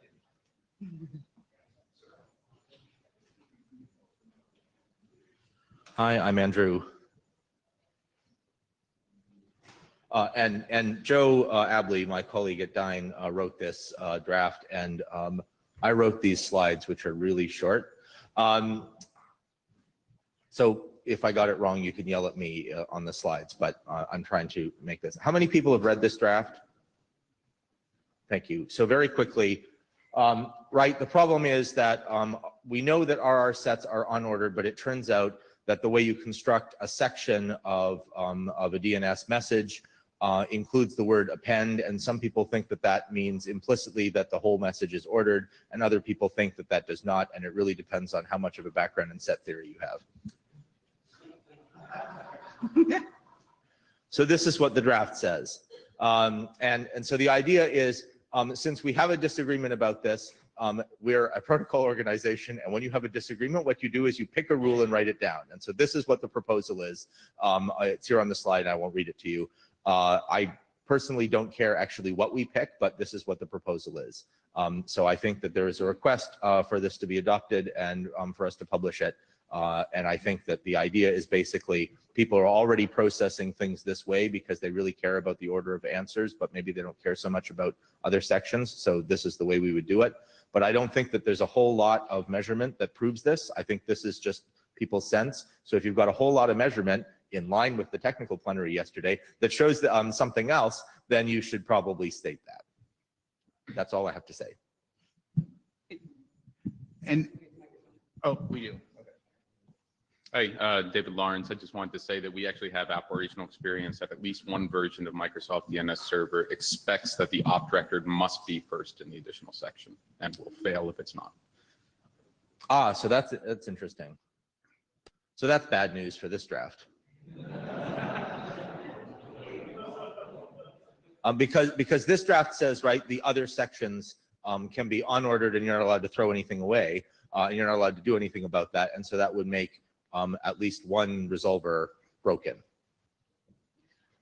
Hi, Shumon Hakbarsan. I have another uh, wrench uh, to throw in here. Um, so I mentioned this on the mailing list a couple of months ago, but in addition to ordering stuff in the answer section, there are actually implementations that expect stuff to be ordered in the authority section. So we came across a resolver implementation. This is not one that nobody has ever heard of. Uh, I won't name them here, but essentially it fails to authenticate negative responses unless the data, the NSEC records appear before their signatures. If they appear in the inverted order, it fails.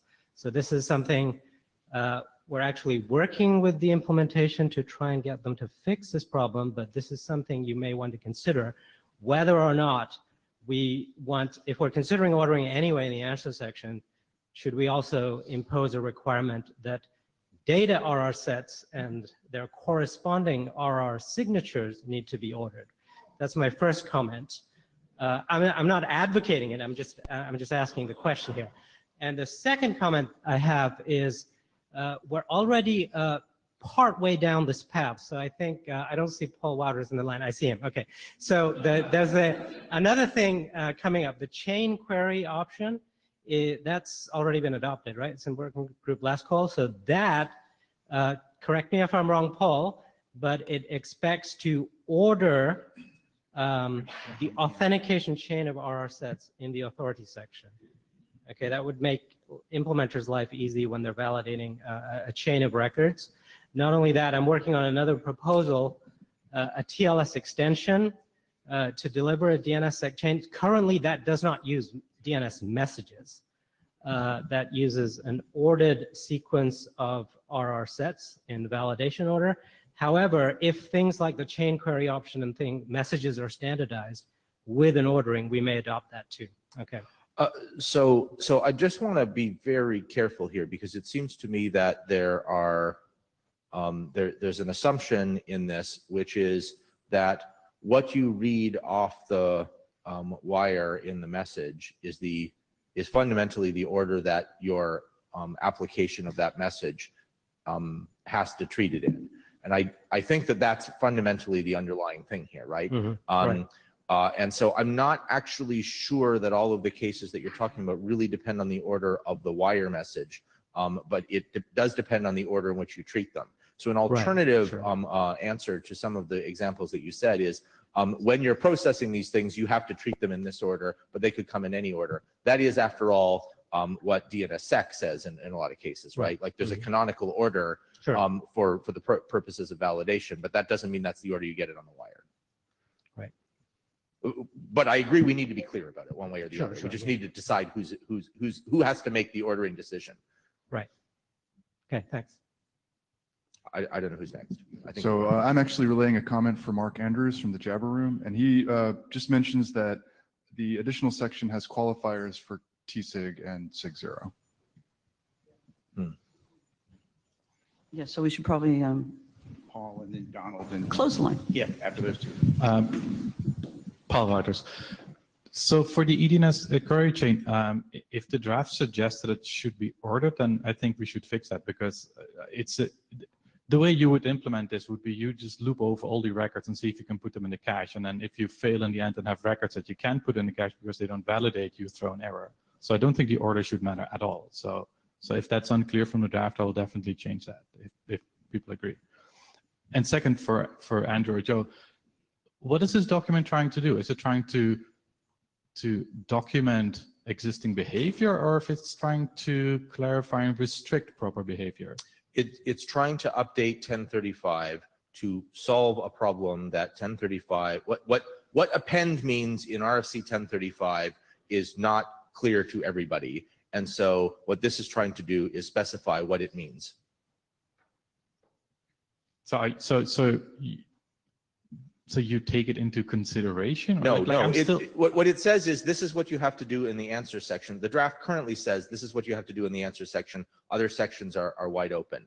But the point is 1035 says when you're when you're building this thing, what you do is you take the thing that you have and then you append something else. If you're a set theoretic geek, then appending doesn't mean that there's an order there because right Sure. in But but earlier you said when there was an implementation that required something that you didn't expect, you say, oh, that's a problem for this draft, suggesting that maybe you would append the draft. So I'm still confused about whether you are trying to dictate behavior or describe behavior. Well, normally, of course, what you do is, I mean, when you're trying to clarify a specification as old as the DNS specification, you try to clarify it in a way that doesn't break anybody in the wild. So that's the only reason it's a problem.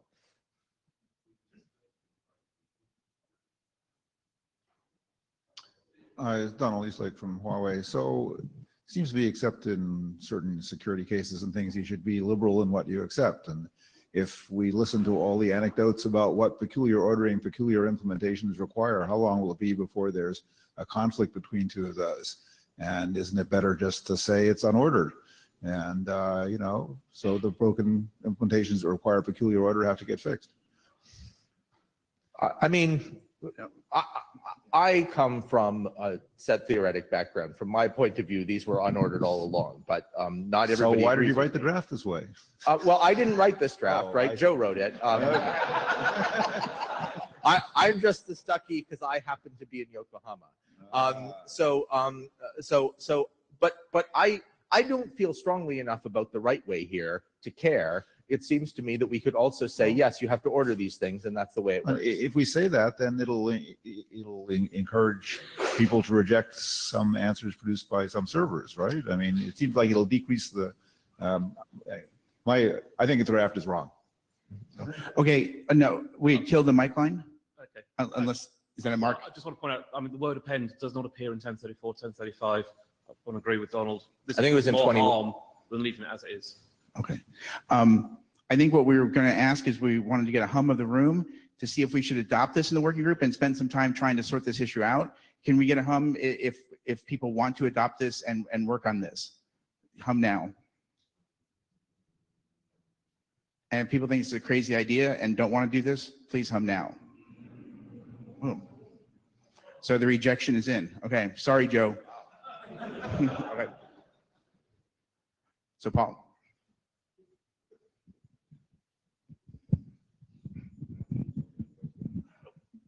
Hi. Um, okay, so next slide. Oh.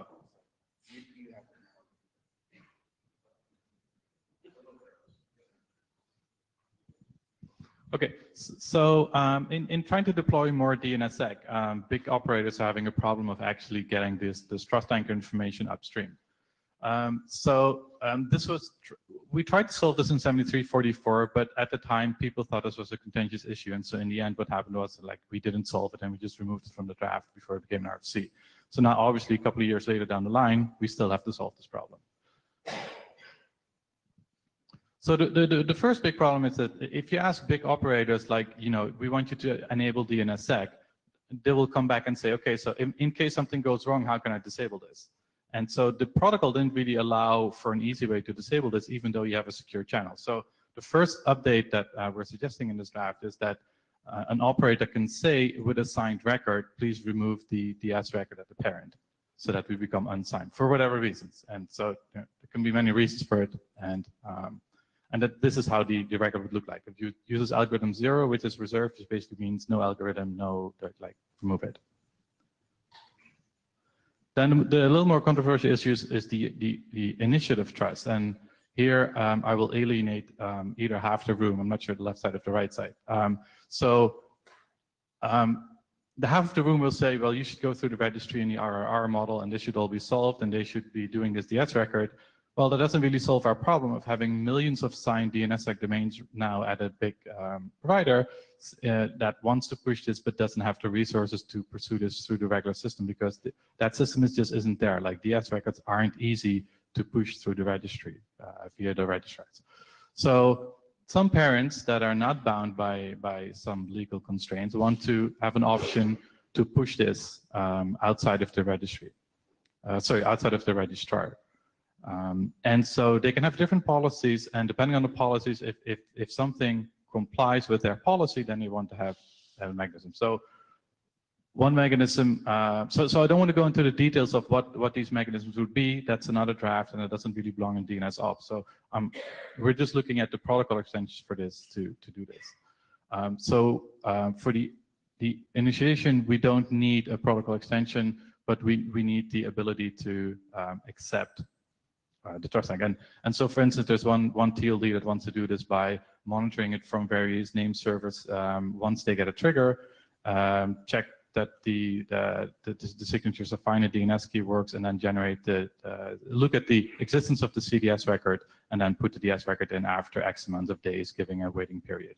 Um, but those are all policy decisions that are like outside of the, the, the specification. And I think that's it. Any questions? Oh, I- and I guess we're asking for adoption. Yeah, I I figured, yeah, I was going to do a hum once we saw the usual suspects. We do have a couple of folks at the most. Warren Kumari, quick note. So I'm one of the original authors of 7344, and we actually had the stuff in about delete. And the working group asked us to take it out, but the consensus, as far as I remember, was not very strong.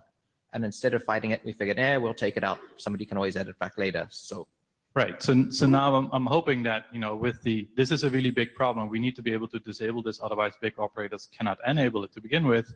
I'm hoping that we we change this. Uh, John Leekinson from Swindon. Um, how did the parents ever get the NS records? Uh, I mean, they, we, that problem has been solved years ago. I don't know why we need to solve it again for this record. Be, be, because a lot of these operators that are in, in the middle don't support um, things like adding a DS record, or their resellers don't support it, or there's there's many ways in the in the the RR model where people just don't care because there's not enough money in it and it's just impossible to get your DS record up. Like, like imagine Cloudflare has millions of domains signed and they want to put this in .ca. .ca is ready, Cloudflare is ready, but there's no mechanism to make this happen. Uh, well, then get a different parent. and oh, I also I don't think you can just turn DNSSEC off either. So I I think that's a good reason for not having it in the original draft. So, sorry, if, if, if the DNS operator decides that it wants to disable the DNSSEC on it, you say the DNS operator shouldn't have the power to decide that? Well, they can do it if they want to, but I don't think we should encourage them to turn DNSSEC off once they've turned it on. Because it's just it's just Well, going to well, cause pain for anyone who's No, but sometimes you have to. Sometimes you have to. Let's say the domain moves to a different uh, DNS operator that doesn't support the same DNSSEC algorithm and they can't roll over. So they have to disable it. Like nobody wants to, but Well, before you turn DNSSEC on, you should make sure you've got a good relationship with your provider, that they will help you migrate. you don't know what happens in these relationships after they do something technical. That's sort of out of scope. Uh, I just wanted, the big issue is with third-party operators. The RRR model that ICANN has established really doesn't have any recognized role for a third-party operator. And so the big problem with getting DS records up is that we're relying on customers to then interact with the registrar to get the right information to the registry. And relying on customers to do anything is a failing proposition. John Levine, I, I can tell you from experience, I have 300 domains on my server. Half, all of them are, all of them are locally signed. Only half of them are, are actually DNSSEC because I only have, a- I only have a relationship with, with, with the registrar for half of those. I mean, so to the extent this provides some sort of tofu thing that would allow me to upload the other DS records, it's a win, even though it might not be as, as beautiful as personally visiting every, every registrar in the world and making friends with them. Hi, Paul. Over here. Yep. How you doing? And then Ed, and then Shane, and then the la, um, the person at the end, and then we'll cut the mic line. Um, Oh, Yep. Go, Wes. as long as it's me first, I don't care. Yeah. Um, Wes Hardaker. Um, the delete I don't care about. So I don't, you know, it- it'd be horrible to have them unsign their zone, but you know what? At least it's being done securely. The bootstrap, you know, initially I, I sort of thought, well, lots, there's so much leap of faith around the IETF, why not, right? Except that the problem is, is that we're storing more and more and more stuff using DNSSEC as a security bootstrap. So, so by allowing that initial leap of faith, we're actually providing a leap of faith to a whole bunch of other stuff. DANE, um, SSH fingerprints. Um, you know, there's there's an awful lot of other stuff that that makes me really hesitant to not require any authentication. And and maybe I think that you have the the concept right of it's out of bounds of the document to define how that initial bootstrapping authentication should be. But I think that we might want to put some some uh, initial policy parameters on it. You know, you must have some level of authentication um, and protection in order to accept a DS record. And, and you think that should be in this document or a separate document? I should, I think it should be in whatever document you're going to enable them to copy that DS record for the first time. I don't care where it is. Right. So so like there, this there's a there's a different document um, from Jacques, which I don't know where Jacques is. Uh, um, that actually has like one example of how .ca wants to do this, and and and has an, an, an- sort of tries to make it a generic way so that if there's more TLDs that do this, we will have a standardized way of doing this and not run into the whole same problem again of not having a known API. It's more the, um, the constraints on, on how it should be done. I don't think that we need to specify an exact way. I mean, great, if we have a standardized way, fantastic. If it's REST, great. You know, that, that's a perfectly sufficient way. But in, in the meantime, I think that you gotta have a bare minimum. You can't just copy it. right? So maybe it should be in this document in, in the security considerations? As a must, yeah.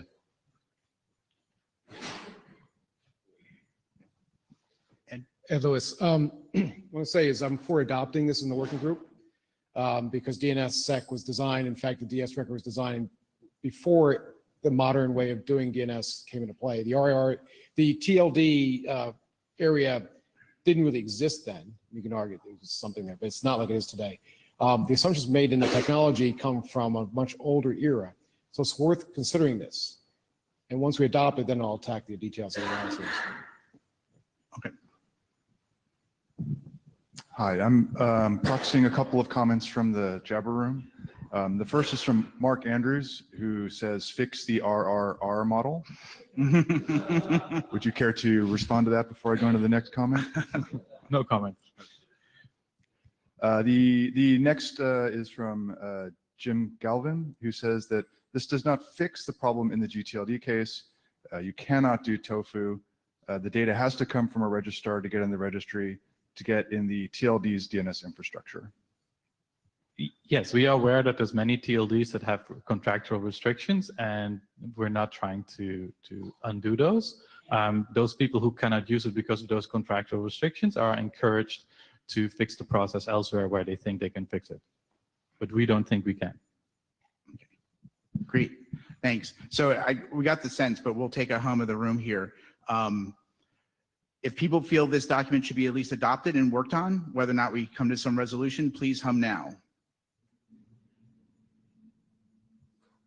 And if you think we should not work on this, please hum now. Okay, then we'll, we'll continue on this way.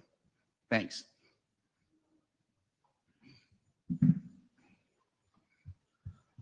Uh, Can I do the presentation from here? Because I want to look at the slides myself.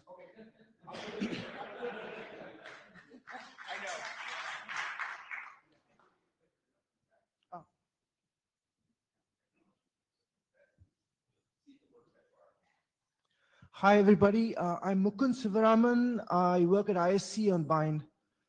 Uh, I'm going to talk about DNS message checksums. Uh, I'm first going to talk about various problems uh, in uh, to do with DNS messages, uh, various problems during transmission, security problems, and what we can do to solve them. This is one of the solutions. The clicker doesn't work from here. Next slide. Okay, so these are all in the area of IP layer fragmentation. I'm sure you're all aware of how IP layer fragmentation works. Um, so the specific problem is that in the case of IPv4, the identifier, the fact it's usually used as a fragment identifier now, that's only 16 bits wide. So it's possible to spoof fragments by an off-path attacker. Um, I'm not going to go into the details of how uh, fragmentation occurs and how an off-path attacker can actually provoke fragmentation from the source. Um, but some of them are considered in this document called fragmentation considered poisonous. That's the URL for it. And uh, there are other ways as well to force fragmentation to occur. Next slide, please. Okay. So uh, when fragmentation occurs and there's spoofing possible, there are two types of attacks that can take place. Uh, I'm sure you all know how fragments are assembled. So once fragments are assembled, IP fragments are assembled, the, uh, the network stack uh, at the receiver, it does a, after it passes the IP layer, uh, in, at the transport layer, it does a checksum check. So in the case of the UDP, you have a 16-bit UDP uh, checksum, which is equivalent to the IPv4 header checksum. Um, so there are two things that can ha- that uh, that uh, attacker can do. One is the attacker can, can cause the checksum validation to pass, and the attacker uh, the other thing is that the attacker can cause the che- checksum validation to fail. Now the UDP checksum is uh, something that uh, uh, was designed to thwart uh, catch um, accidental changes on the wire, but not malicious changes to um, data, uh, malicious poisoning attacks. It's very trivial to um, defeat a, defeat this mechanism, UDP checksum mechanism. Um, when you have fragments, you have you have the DNS message divided into multiple pieces, and so these uh, anti-Kaminsky measures such as source port randomization, message ID randomization, etc., uh, do not work. It ca- cannot catch uh, uh, poisoning. DNS cookies also similarly is a uh, it's a similar mechanism to these uh, anti-Kaminsky measures, and even that cannot uh, catch actual uh, modification when more than one fragment is in use. Next slide, please. Now, the other class of attacks is when uh, the UDP checksum validation fails. So the attacker on purpose, in the previous slide, the attacker on purpose caused UDP checksum validation to pass by spoofing the um, spoofing values so that the checksum matches. Now, the attacker can also cause UDP checksum validation to fail. And in this case, what happens is that the uh, client's uh, network stack drops the uh, drops the datagram. So the application layer never gets the datagram. So uh, this is basically a denial of service. So a few of these are uh, examined in the paper that was mentioned uh, previously. Uh, the general problem is that fragment assembly is controlled by the IP layer in V4, uh, at least where the problem lies. Fragment assembly is controlled at the IP layer. The application layer cannot say, uh, cannot pick and choose fragments because by the time the application layer gets the packet, it's already too late. Uh, the ch- checksum validation has taken place already. So an attacker can cause complete, whenever fragmentation occurs, an at- attacker can cause unstoppable uh, disruption and denial of service um, to, uh, uh, to messages, specifically DNS messages in our case. So uh, the, the way to fix the case where UDP checksum validation passes is to use some kind of uh, checksum, uh, an additional cryptographically secure checksum. And a way to fix this attack where the UDP checksum validation fails is to use the DF bit in the IP header and you uh, move the uh, fragmentation to the application layer where it can actually pick and choose what fragments it wants to assemble. So uh, Shane is going to present uh, another uh, draft next, which is going to talk about this, um, uh, doing this in the, at the application layer, fragment assembly in the application layer. Next slide, please. Okay, so there have been comments about the, uh, this draft on the mailing list. So people generally ask, what about on-path attack, attacks? This document only talks about off, off-path attacks. So the, the capabilities of an off-path attacker and an on-path attacker are quite different, and uh, they can all be, they cannot all be addressed by a similar mechanism. So an off-path attacker specifically can only spoof. They cannot monitor anything on the wire. Uh, they can attempt poisoning and uh, take their best shot and uh, hope that it works. But they're not able to do anything. They're not able to stop any traffic, existing traffic on the wire. They're not able to filter any packets. They're not able to do anything other than attempt to poison. Um, so in this case, uh, just stopping this fragmentation attack would be sufficient. Um, and also um, discovering any uh, poisoning attempts would be sufficient. If, if, if the client is able to discover that the message may have been poisoned, that, that should be sufficient, uh, a sufficient measure to get rid of off- off-path attackers, problem of, of off-path attackers. Next slide, please. On-path attackers, they can do, they can wreak a lot of havoc. Uh, they can do everything pretty much what an off-path attacker can do. They're able to inject uh, forged packets like an off-path attacker, but they're also able to monitor what traffic goes on the wire. They're able to filter packets so that they can completely block what a server is sending to the client through through through their path and send something else that they want to send. So very effectively poison, and they can uh, do all sorts of. These are called man-in-the-middle attacks, basically. Uh, so in this case, uh, the work that DPRIVE is doing, uh, uh, that is a better match to stop this this kind of attacks uh, of an on-path attacker. Even even in, with the work that De- DPRIVE is doing, there are still attack. If if an on-path attacker is just going to drop packets, then it it's pretty much unstoppable. The the client cannot do anything. They can totally deny service. Next slide, please. Okay, so one more comment we got was, why don't we use DNSSEC? Just use DNSSEC and we're done with the problem. Now, it is true that RRSIG can validate the contents of um, uh, RR sets. So uh, a client can verify that no poisoning has occurred, but only for the RR sets that have been, uh, uh, that have RRSIG in them. So uh, some contents of messages such as uh, in, a, in a delegation, in a, in a referral, you don't, you, you don't have RRSIG for NS records, you don't have RRSIG for glue, and you don't even have RRSIG for EDNS options that are used more and more these days.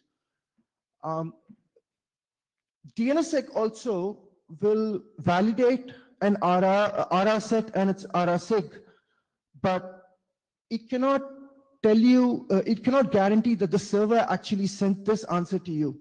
So if you have a- an RR set and, it, uh, and it's RRSIG, you can, uh, uh, thinking that the server sent this particular set to you, you can validate it. But that may not be the actual set, the, uh, RR set the server actually sent you. Next slide, please. So there's a theoretical attack that can take place uh, with this. This is not very practical. It, it won't happen in practice, but th- this is uh, an example for the last point on the previous slide. Hold on. Nick? We're running way over time here. Oh, I'm and sorry. If we could take a couple of questions. How many people have read the draft? Okay, so that looks like enough. Um, If you're asking for adoption, we can, do- we can do that question, but Okay. if you have one or two questions, but we're, we're, we're way over time here.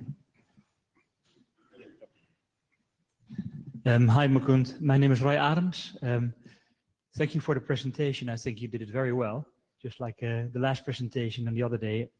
Um, one thing to point out, though, is you're trying to protect against a second fragment, fragment spoof, right?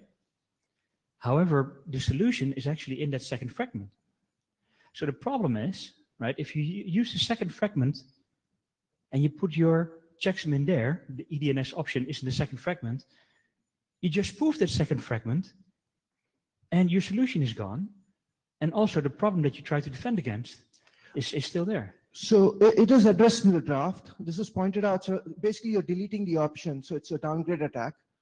So what basically happens is that the client can det- detect that. So it knows that it has sent a checksum. It's a signal that it wants its checksum to the server. If you delete the option, the client can detect that the option is gone and it can uh, go on to TCP, for example. But you can already do that. Yes, this is to detect poisoning. It isn't to um, tell you. I, I'm sorry, I, I don't understand. You can already use TCP, yes, but you cannot detect the case where poisoning occurs. So, Okay, I'll take this offline. I'll send you a message. okay, on this. Thank okay, okay. Um, Stéphane Bortzmeyer. Uh, the Shulman uh, fragmentation attack works only on IPv4 because the ID of the packets is uh, too small. So there is an obvious solution, move to IPv6, which is something which is quite realistic in the short term. So. Uh, more seriously, um, it would be interesting to watch at what the other applications which use UDP are doing. For instance, uh, is uh, NTP doing the same sort of thing or other protocols like that? Do they do fragment, uh, application level fragmentation? It would be interesting to see what the other people do before we do the same mistake. Okay. Closing the mic line. Uh, Wes Hardaker, um, so thank you for enumerating all of the baggage that we have brought to the table over, you know, decades worth of, of DNS work, right? Eh, The, the problem is, is that your enumerated list like affects every protocol we have. And so personally, I don't think that this is the right place to solve this problem, right? This is, these are types of problems every application out there has. So we have other technologies that that sort of fix stuff. You know, I mean, DNSSEC you mentioned is one of them. Uh, TCP is one of them. IPv6 is one of them. I'm not sure that that the the time is right to to fix the DNS protocol with new bits in it as opposed to just moving to one of the other solutions that we want to move to anyway. We already, uh, we already work around a lot of the DNS, uh, we already work around a lot of the UDP issues um, in DNS. We have mechanisms in DNS to avoid ex- exactly what UD, uh, issues UDP cause, causes, such as DNS cookies, for example, is not necessary at all. If uh, you didn't have amplification attacks and also poisoning attacks, you wouldn't you wouldn't require that at all. Um, things like uh, all these anti-Kaminsky measures that we do, we do that for DNS, in DNS software. So um, it, it is still very much a reality that DNS uses UDP right now. It's not going to go away for a long time, for a very long time. Because of, uh, I've not had time to talk about TCP, but there are issues with TCP that we- cannot adopt it right now, although it, it's a, it's something that we can do in the future. So for a long time, uh, the majority of DNS traffic will still be uh, UDP. So we'll have to fix these problems for DNS in, uh, in UDP over DNS. Sorry, DNS over UDP. I'm Peter Koch-DENIC. I like your presentation very much. Uh, Thanks for bringing again the uh, attention of the audience to the Shulman paper. I think that's uh, interesting and people should be aware of and take some measures to uh, mitigate at least the easiest ways to exploit that. Um, I think that the part that you mentioned, that uh, the unprotected uh, sections of the message, which are not signed within DNSSEC, I consider that a feature, not a bug. Um, so that doesn't really need a solution here, in my opinion. Um, also, let's not lose the, the overall picture out of sight here. So we have a couple of methods already addressed uh, in terms of transition mechanisms towards more DNSSEC deployment. We are transitioning more or less to TCP. I heard you disagree, but that's fine. Um, I am not really convinced that this is the point in time to actually adopt the draft. I think the, the suggestions you make uh, are, are um, reasonable and would work. I fear the complexity uh, that we add and the number of choices for operators and especially people who need to debug things. Um, so the thousand flowers bloom approach uh, is, is really great, but I fear complexity. And if I didn't say that, I fear complexity. So I would like uh, the chairs not to ask for adoption, or at least have the mic in hand when, when I can hum. Um, this isn't really wrong, but not the right time. Thank you.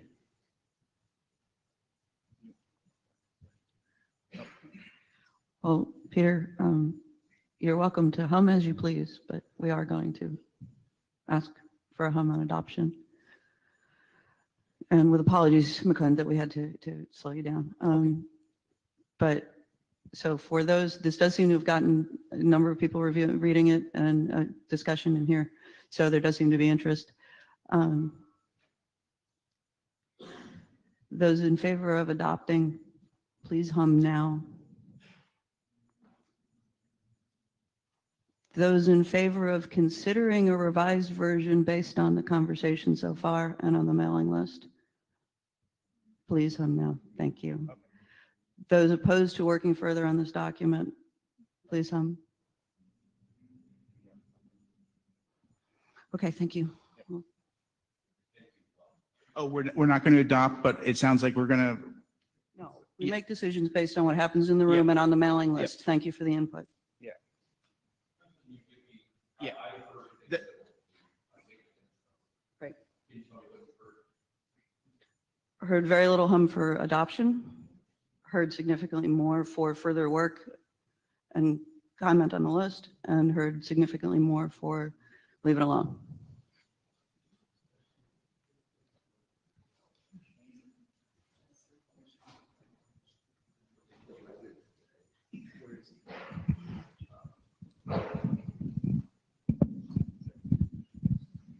I have no clicker. Hmm. If there's any Jedis in the room that want to advance the slides for me, I'd appreciate that. All right. And I will just turn my back to the audience here. Um, so I apparently am stuck with doing controversial things here at this meeting, as always. Um, so this is an idea that came to the list. Um, there's a draft about it that we submitted during the last IETF, which is, I know, really bad timing. And cleverly, we didn't revise it before this IETF, which is also really bad planning. Uh, nevertheless, because of the work that Mukund's been doing on the checksum, we thought it's a good time to, to visit this. And the basic idea here is to do fragmentation at the DNS application layer instead of uh, at the IP layer. Next slide, please. Uh, so uh, because we're really short on time, I'm not going to go through the problem statement. Um, yeah, next slide, please because I want to just get to the quick overview of the protocol. Um, so it's it's very very straightforward. Basically, what you'd expect. The the resolve in this case, in order to signal that you will accept fragments, the resolver puts an EDNS zero packet, uh, saying that if the authority server discovers that an answer is bigger than whatever limit you would have for wanting to fragment, um, then it will do this fragmentation. And what fragmentation means is that we make separate DNS messages for each part of the original answer. Um, and the way it's done is, is a very straightforward uh, implementation of what you'd expect. You list the total number of fragments that the receiver should expect, and then each one has a separate ID, which we just increase. Um, and the, the headers of each of these separate messages is identical to what the original big answer is, except for the, uh, the counts of, of the different sections. Um, and each, each uh, separate message has its own name compression. Uh, the, the reason that we do it this way is so that we can look a lot like an existing DNS message. It should go through firewalls and all existing parsers and things should handle it without modification. Um, and then, so that's how we construct it. When the receiver gets these fragments, it sees that there's this new EDNS zero option saying that this is part of a larger fragmented set. It collects them all into the original unfragmented answer and then processes that as it would normally. That's, that's the whole protocol. Next slide. Uh, there's a whole bunch of edge cases and details. So if you aren't aware of it, in the DPRIVE list, there was a, a proposal added to the DNS over DTLS, which is the datagram version of TLS, in order to do fragmentation in that. The- their motivation was that because when you add crypto, you expand your packages, so there's going to be lots of fragmentation. They wanted to do this fragmentation in that. Um, this is a more general way. I actually pushed back against that other implementation because they hadn't gone into depth for all the corner cases, of which there are many. And this is just a sample of them. Um, we have to specify how DNSSEC validation is done. You do it on the whole answer. Um, we have to look at how we deal with amplification. Um, we did some analysis, and I'm pretty sure that will be there will definitely be a small increase in the size versus uh, IP layer fragmentation. Uh, because you're fragmenting relatively large packets, I don't expect it to be great. Um, we haven't done strict analysis, but my my hand wavy argument is about five or 10% growth. Um, and you know, do we need some way to prevent amplification? Should we recommend or require cookies? Should we recommend or require something like RRL? We don't know yet. This is a zero zero draft. Um, we also need to specify a limit on the number of packets. Uh, we don't expect if you break it up into 10 different uh, frag fragments that this makes any sense. At that point, you're better to just truncate and ask people to move to TCP. Um, and that limitation is both for reliability and for congestion on the network reasons. Next slide, please. Um, and we do have a kind of thing that's kind of clever, which is that we have a kind of staggering in the response size. Um, we go through a number of predefined packet sizes, which we expect the very smallest will always get through any kind of um, network. And then the next, the next in steps are based on expected uh, working MTU sizes. And so this way, as a resolver, if you see the first but not any subsequent fragments, you have a good reason to guess that there's some middle middleware doing uh, horrible things in the way. And in the future, you can signal that to the authority side to only get the smaller size to eliminate any drop packets in the future. Um, and that's it, I think. Next slide. So in addition to all these kind of corner cases, which we're still hammering out, there's a number of open issues. We want to put a more detailed section describing resolver behavior. Um, we need to figure out the TSIG story, if there is any. Um, we need to document very clearly how you, if you are able to split RR, uh, RR sets or not. Um, usually we find that a horrible thing to do in the DNS, but in this case, for efficiency reasons, it might make sense to split on in the middle of an RR set as long as the final answer combines them properly. Um, and we also want to be more clear about recommendations about when not to fragment. And I think that's it. Next slide. Yep. Yeah, that was it. it. And I know you're not asking for adoption at this time, as we're going to get more reviews on it, I think. It, it needs, Yeah, well, I think what we'll do is um, spin it to a zero one revision and then ask for adoption at that time. Ondřej Surý CZ.NIC. Shane, you missed the one thing from application is the number of the packets. Because if you query for any and set the low, um, low size of the fragment, then you will get much more packets on the receiving end. And that's the problem, not the, not the size That's increase. true. That's true. But, but the number Well, of the buckets. Uh, yeah, that is true. Yeah, yeah. Um, Cool. So Is this a What I- comment, yeah, what I think comment you coming need- to the microphone before I sit down? For this draft?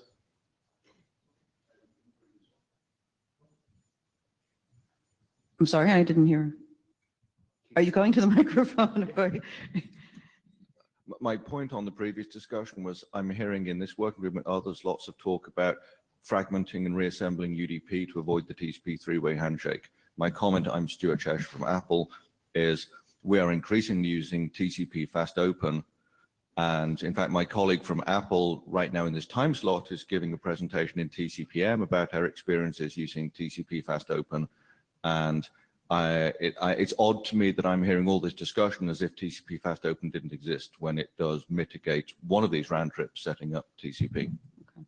Thank you. That, that sounds like good input to take Yeah, back we, to the we'll, list I think we'll discuss several. TCP fast open on the list. Yeah. Thank you. Thanks, and Duane.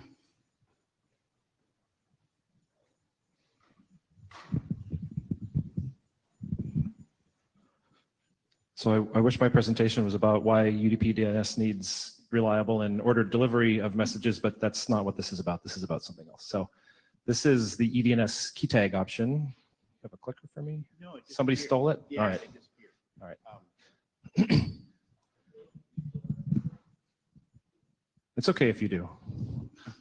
Oh, there he is. Oh, did you? All right. Mm, No, that's the other one. Well, Anyway, all right, that's fine.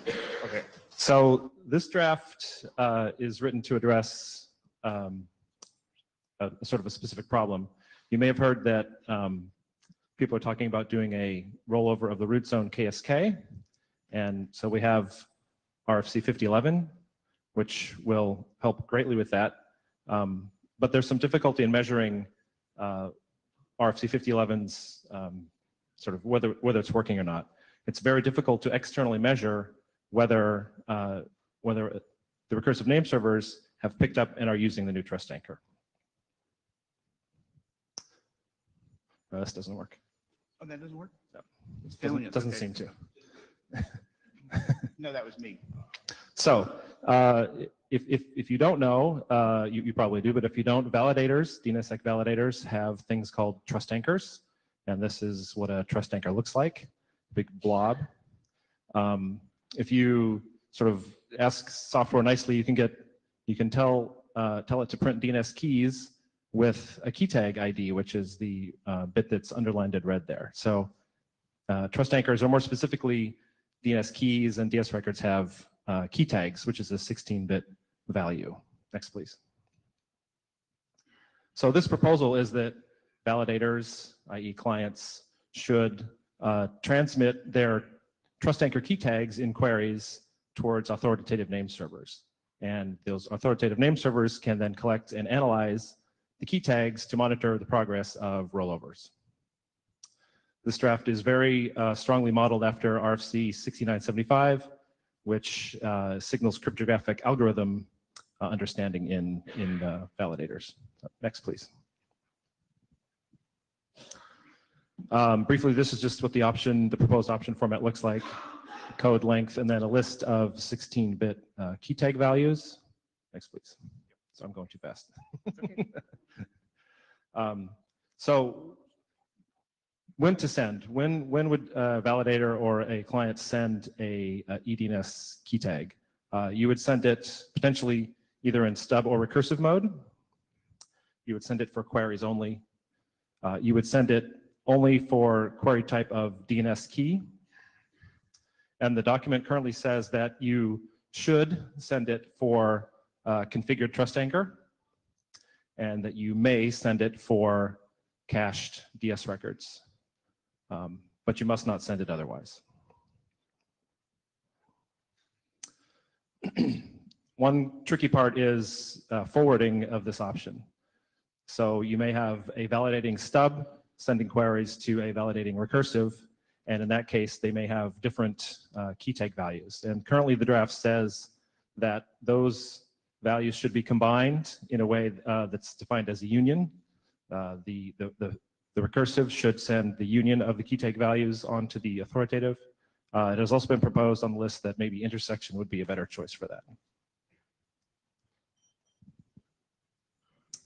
A few privacy concerns with this idea. Um, key tags could be used for fingerprinting, especially if the validator has other trust anchors than say just the root zone trust anchor.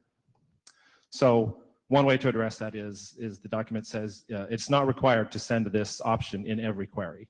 You could send it for some, you know, uh, some fixed number of, or some fixed um, ratio of queries, or you can send it with some probability. And you're not required to send it for every trust anchor. Uh, You could be manually configured to only send it for specific zones, for example. Next, please. Uh, Obviously, the, the key tag values can be faked. uh, And so the, um, the consumer of the key tag data uh, needs to be aware that it's possible that someone is out there trying to do something tricky and send wrong uh, key tag values in order to maybe delay the progress of a, of a rollover. Um, There was a possibility that the key tag values could identify uh, a validator that has failed to properly roll over to a new key and is maybe using an old, possibly compromised key.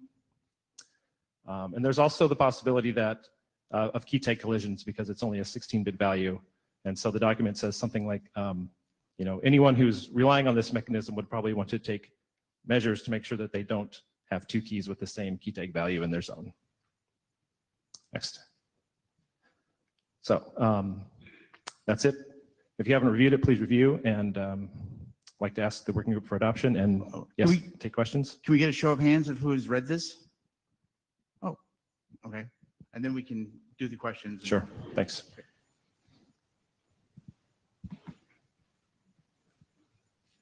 Sorry, I'm, I'm jabber scribing at the same time while conveying ja- comments to the microphone here. Uh, So Mark Andrews has two, uh, two comments from the jabber room.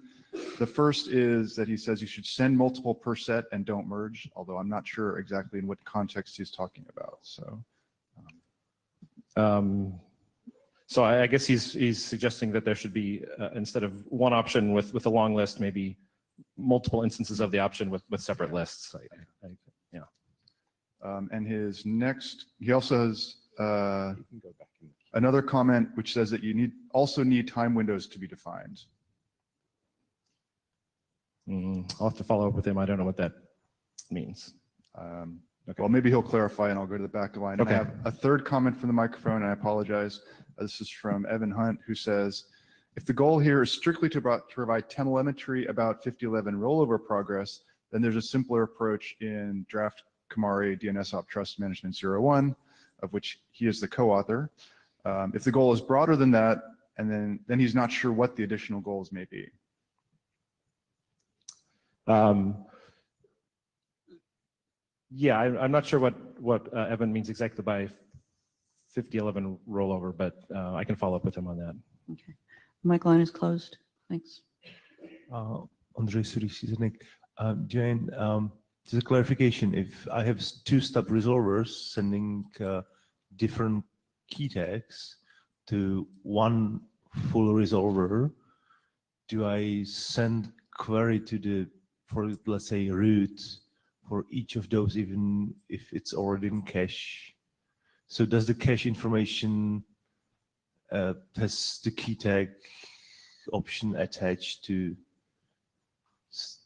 do you, do you understand what I'm asking?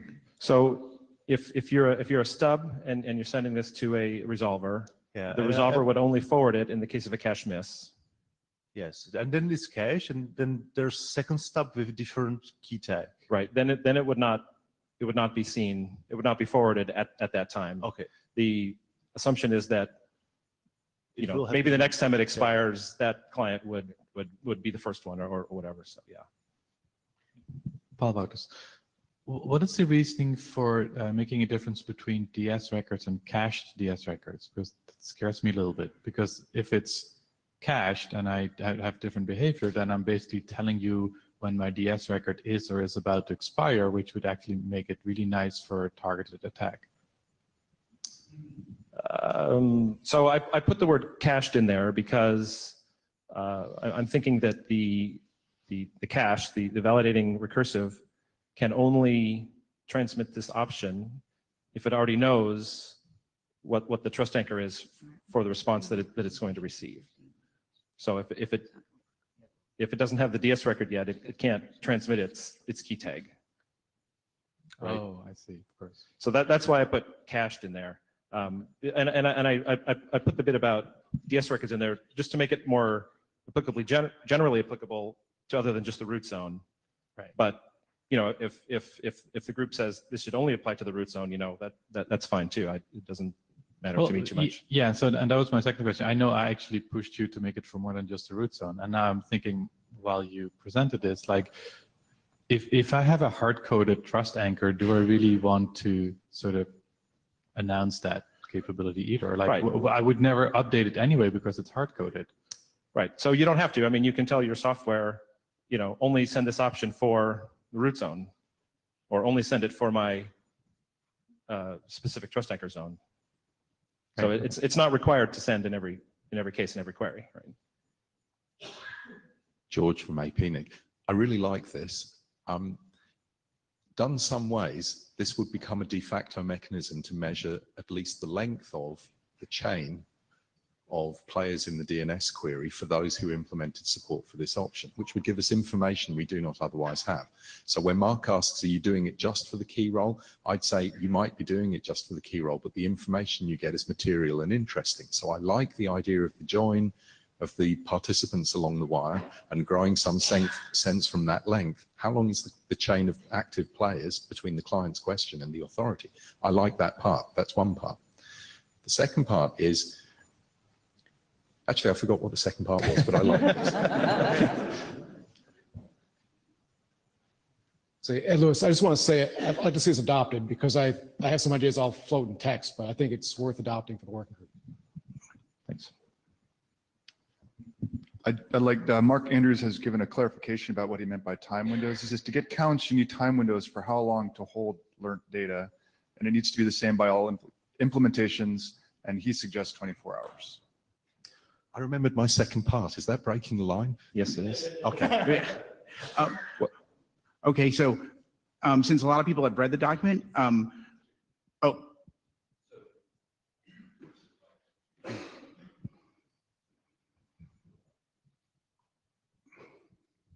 So I know what you were about to do, but one of the comments was about another draft that has a lot of overlap with this, which hasn't been called for a hum.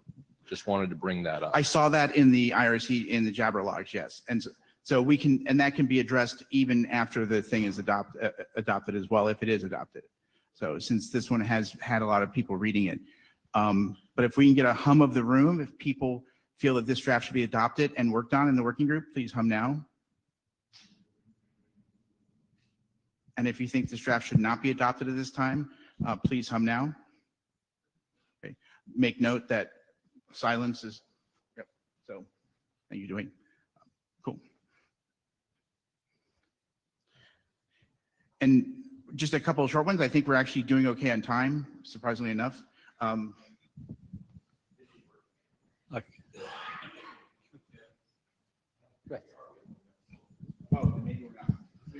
I I will be fast, don't worry. Uh, So Stéphane Bortzmeyer, uh, this is just um, two uh, wild ideas that I had, and I wanted before I do, I actually start to work on it, to have an idea of the opinion of the working group about it. One was raised during the DNS Yeti meeting in, on Saturday, uh, that you know that we have RFC 67, 7735, which uh, creates uh, redirection to the new AS112 with uh, DNAME.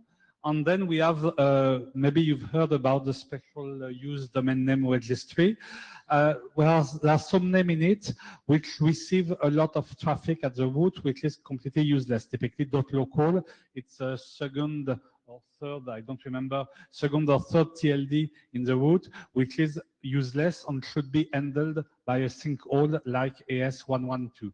So the problem is that it requires to change things in the root. If you want to put a DNAME for dot .local to the AS112 in the root, you need a lot of process. And it's possible that some organization will try to, to uh, send back and forth the ball and saying, this should be done by the IETF, no, it should be done by ICANN, etc. So uh, ICANN, IETF could, in theory, said, uh, that a TLD in the special use uh, domain name registry should receive a DNAME in the root to be redirected to the sinkhole of AS112. I, it doesn't mean that it will be implemented uh, by ICANN uh, for the many political reasons, but maybe technically it will make sense. So uh, I suggested to do it only for the special use domain name registry because then there are less political problems. So the domains which are very talkative like .home or .belkin, one which are not in the special use uh, domain name registry would be left out.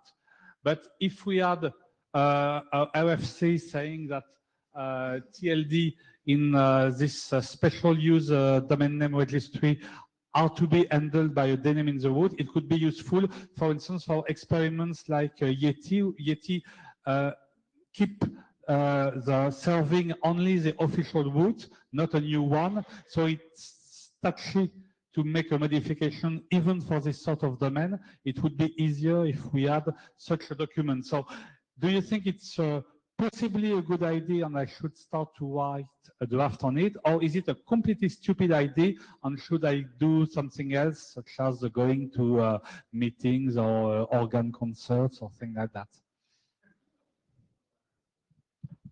Um, Peter Koch, Stéphane, I think this is possibly a very good idea and you should still go to organ concerts.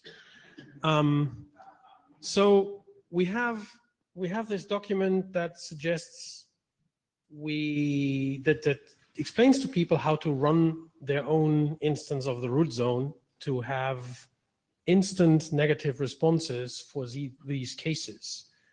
Entering a DNAME in the root actually then directs those questions to some really existing name servers? How would that be compatible with more privacy by the limitation of leakage of DNS queries?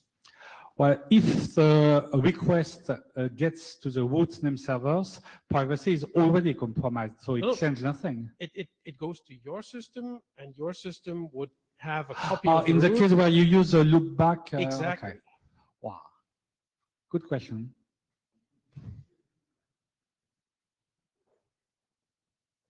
Uh, This is a, a comment from the Jabber Room. Olafur Gudmundsson says, start writing.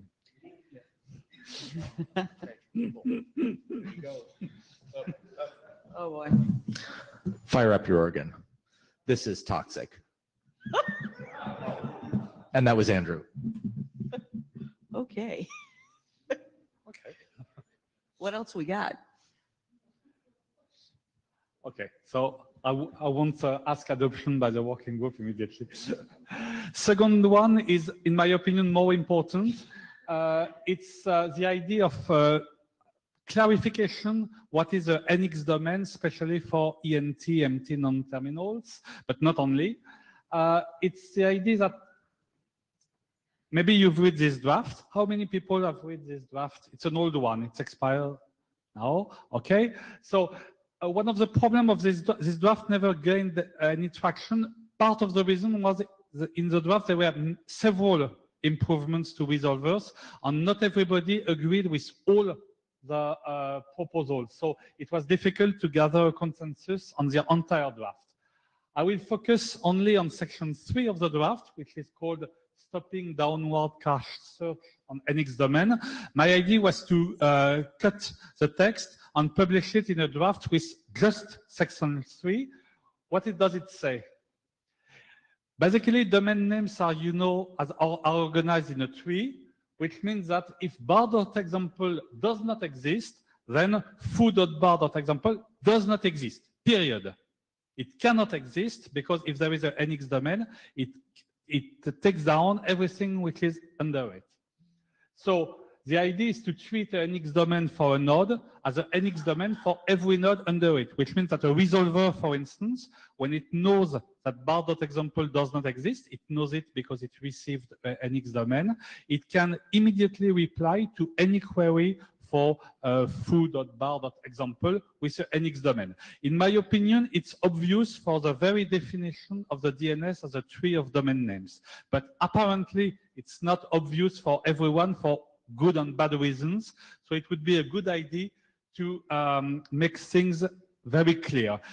Why is it important? It's important for QNAME minimization, and it's important also in some case of random QNAME attacks, because today you cannot uh, prevent these attacks just by uh, feeding the resolver with the NX domain for, uh, for the domain used for the attack, because the resolver will not trust it and will continue to asking to the authoritative name server.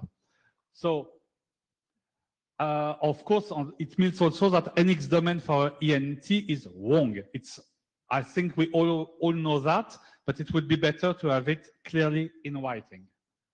So good or stupid idea as before. Should we try to do uh, RFC just for this point? Or should we try to update another document or maybe uh, wait until RFC uh, 1034 bis? That's, sorry, that's the end. So let's go. Okay, um, Paul Wouters.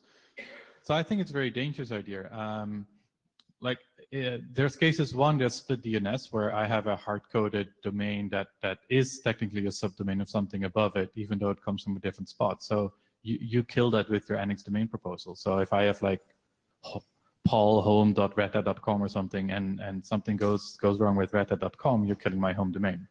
And in that same context, um, let's say the, uh, the we're rolling the root key and something goes bad and there's a resolvable and old trust key and you're saying that the root now fails, then I would really not want to have my local domain taken down and shot as well. So um, You mean the root can fail? Of course, it can have self-fail or thing like that, but how would it, but the idea of a root sending spurious NX domain seems a bit far-fetched. Do You oh, think yeah, I I guess you're right. I guess it's not an NX domain. Yeah. Yeah. Okay. Never mind then. Yeah. You're right. But your first point uh, stand. Hey, Louis, um, the one problem with assuming that the lower name doesn't exist is things do change on the authoritative side. If that's what you're worried about. It might be that when I asked for this name, it wasn't there. I asked five minutes later and someone's filled up the tree, so it might be there now. So I'm, I, it's not always true that this, you know, you might catch this is not there, but it turns out this is there now because we have time going by. Yeah, but the NX domain for the above domain has a TTL. So as long as the TTL is not I mean, elapsed, whether you- it's whether true. you- It's whether you want to capture that.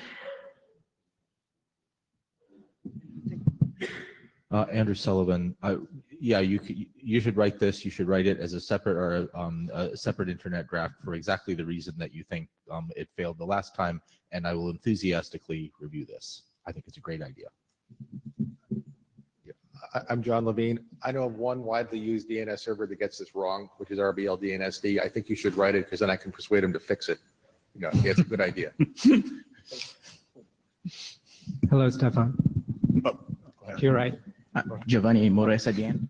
Oh, I'm sorry, Shim- Shumon, I'm sorry. Yeah. and Uh, then- Hello, Stéphane. So I, I just wanted to clarify something uh, you said in your slide earlier. NX domain actually does mean NX domain for the iterative resolution algorithm.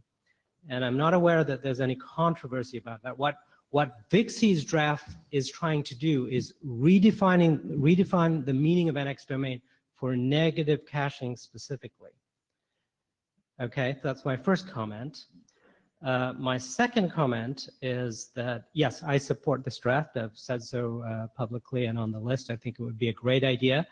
Um, it would be nice if the original negative caching spec had said this from the beginning. My understanding from speaking to Mark Andrews was the reason they decided not to do it was because it made uh, the resolver's job harder in producing uh, negative answers, uh, NSEC and NSEC3 records for names underneath the NX domain boundary. So that's a topic that the Vixie draft does not discuss now. So uh, uh, I agree with, with Andrew, you should split it out into a separate draft, but you need to discuss, we need to outline very um, uh, specifically how resolvers behave to produce authenticated denial of uh, existence answers for names underneath the NX domain boundary. One- possible solution would be to say that the resolver, when it has a cache NX domain, Mhm. should, capital should, Mhm. send a NX domain for every name underneath. Right. And if it doesn't, if the resolver doesn't do it, it will be only a performance problem because it will eat the authoritative name servers, but it, won't change the final answer, which, which will still be a NX domain. Sure. Would it address your concern? Um, uh, possibly, I'll have to think it through a little bit.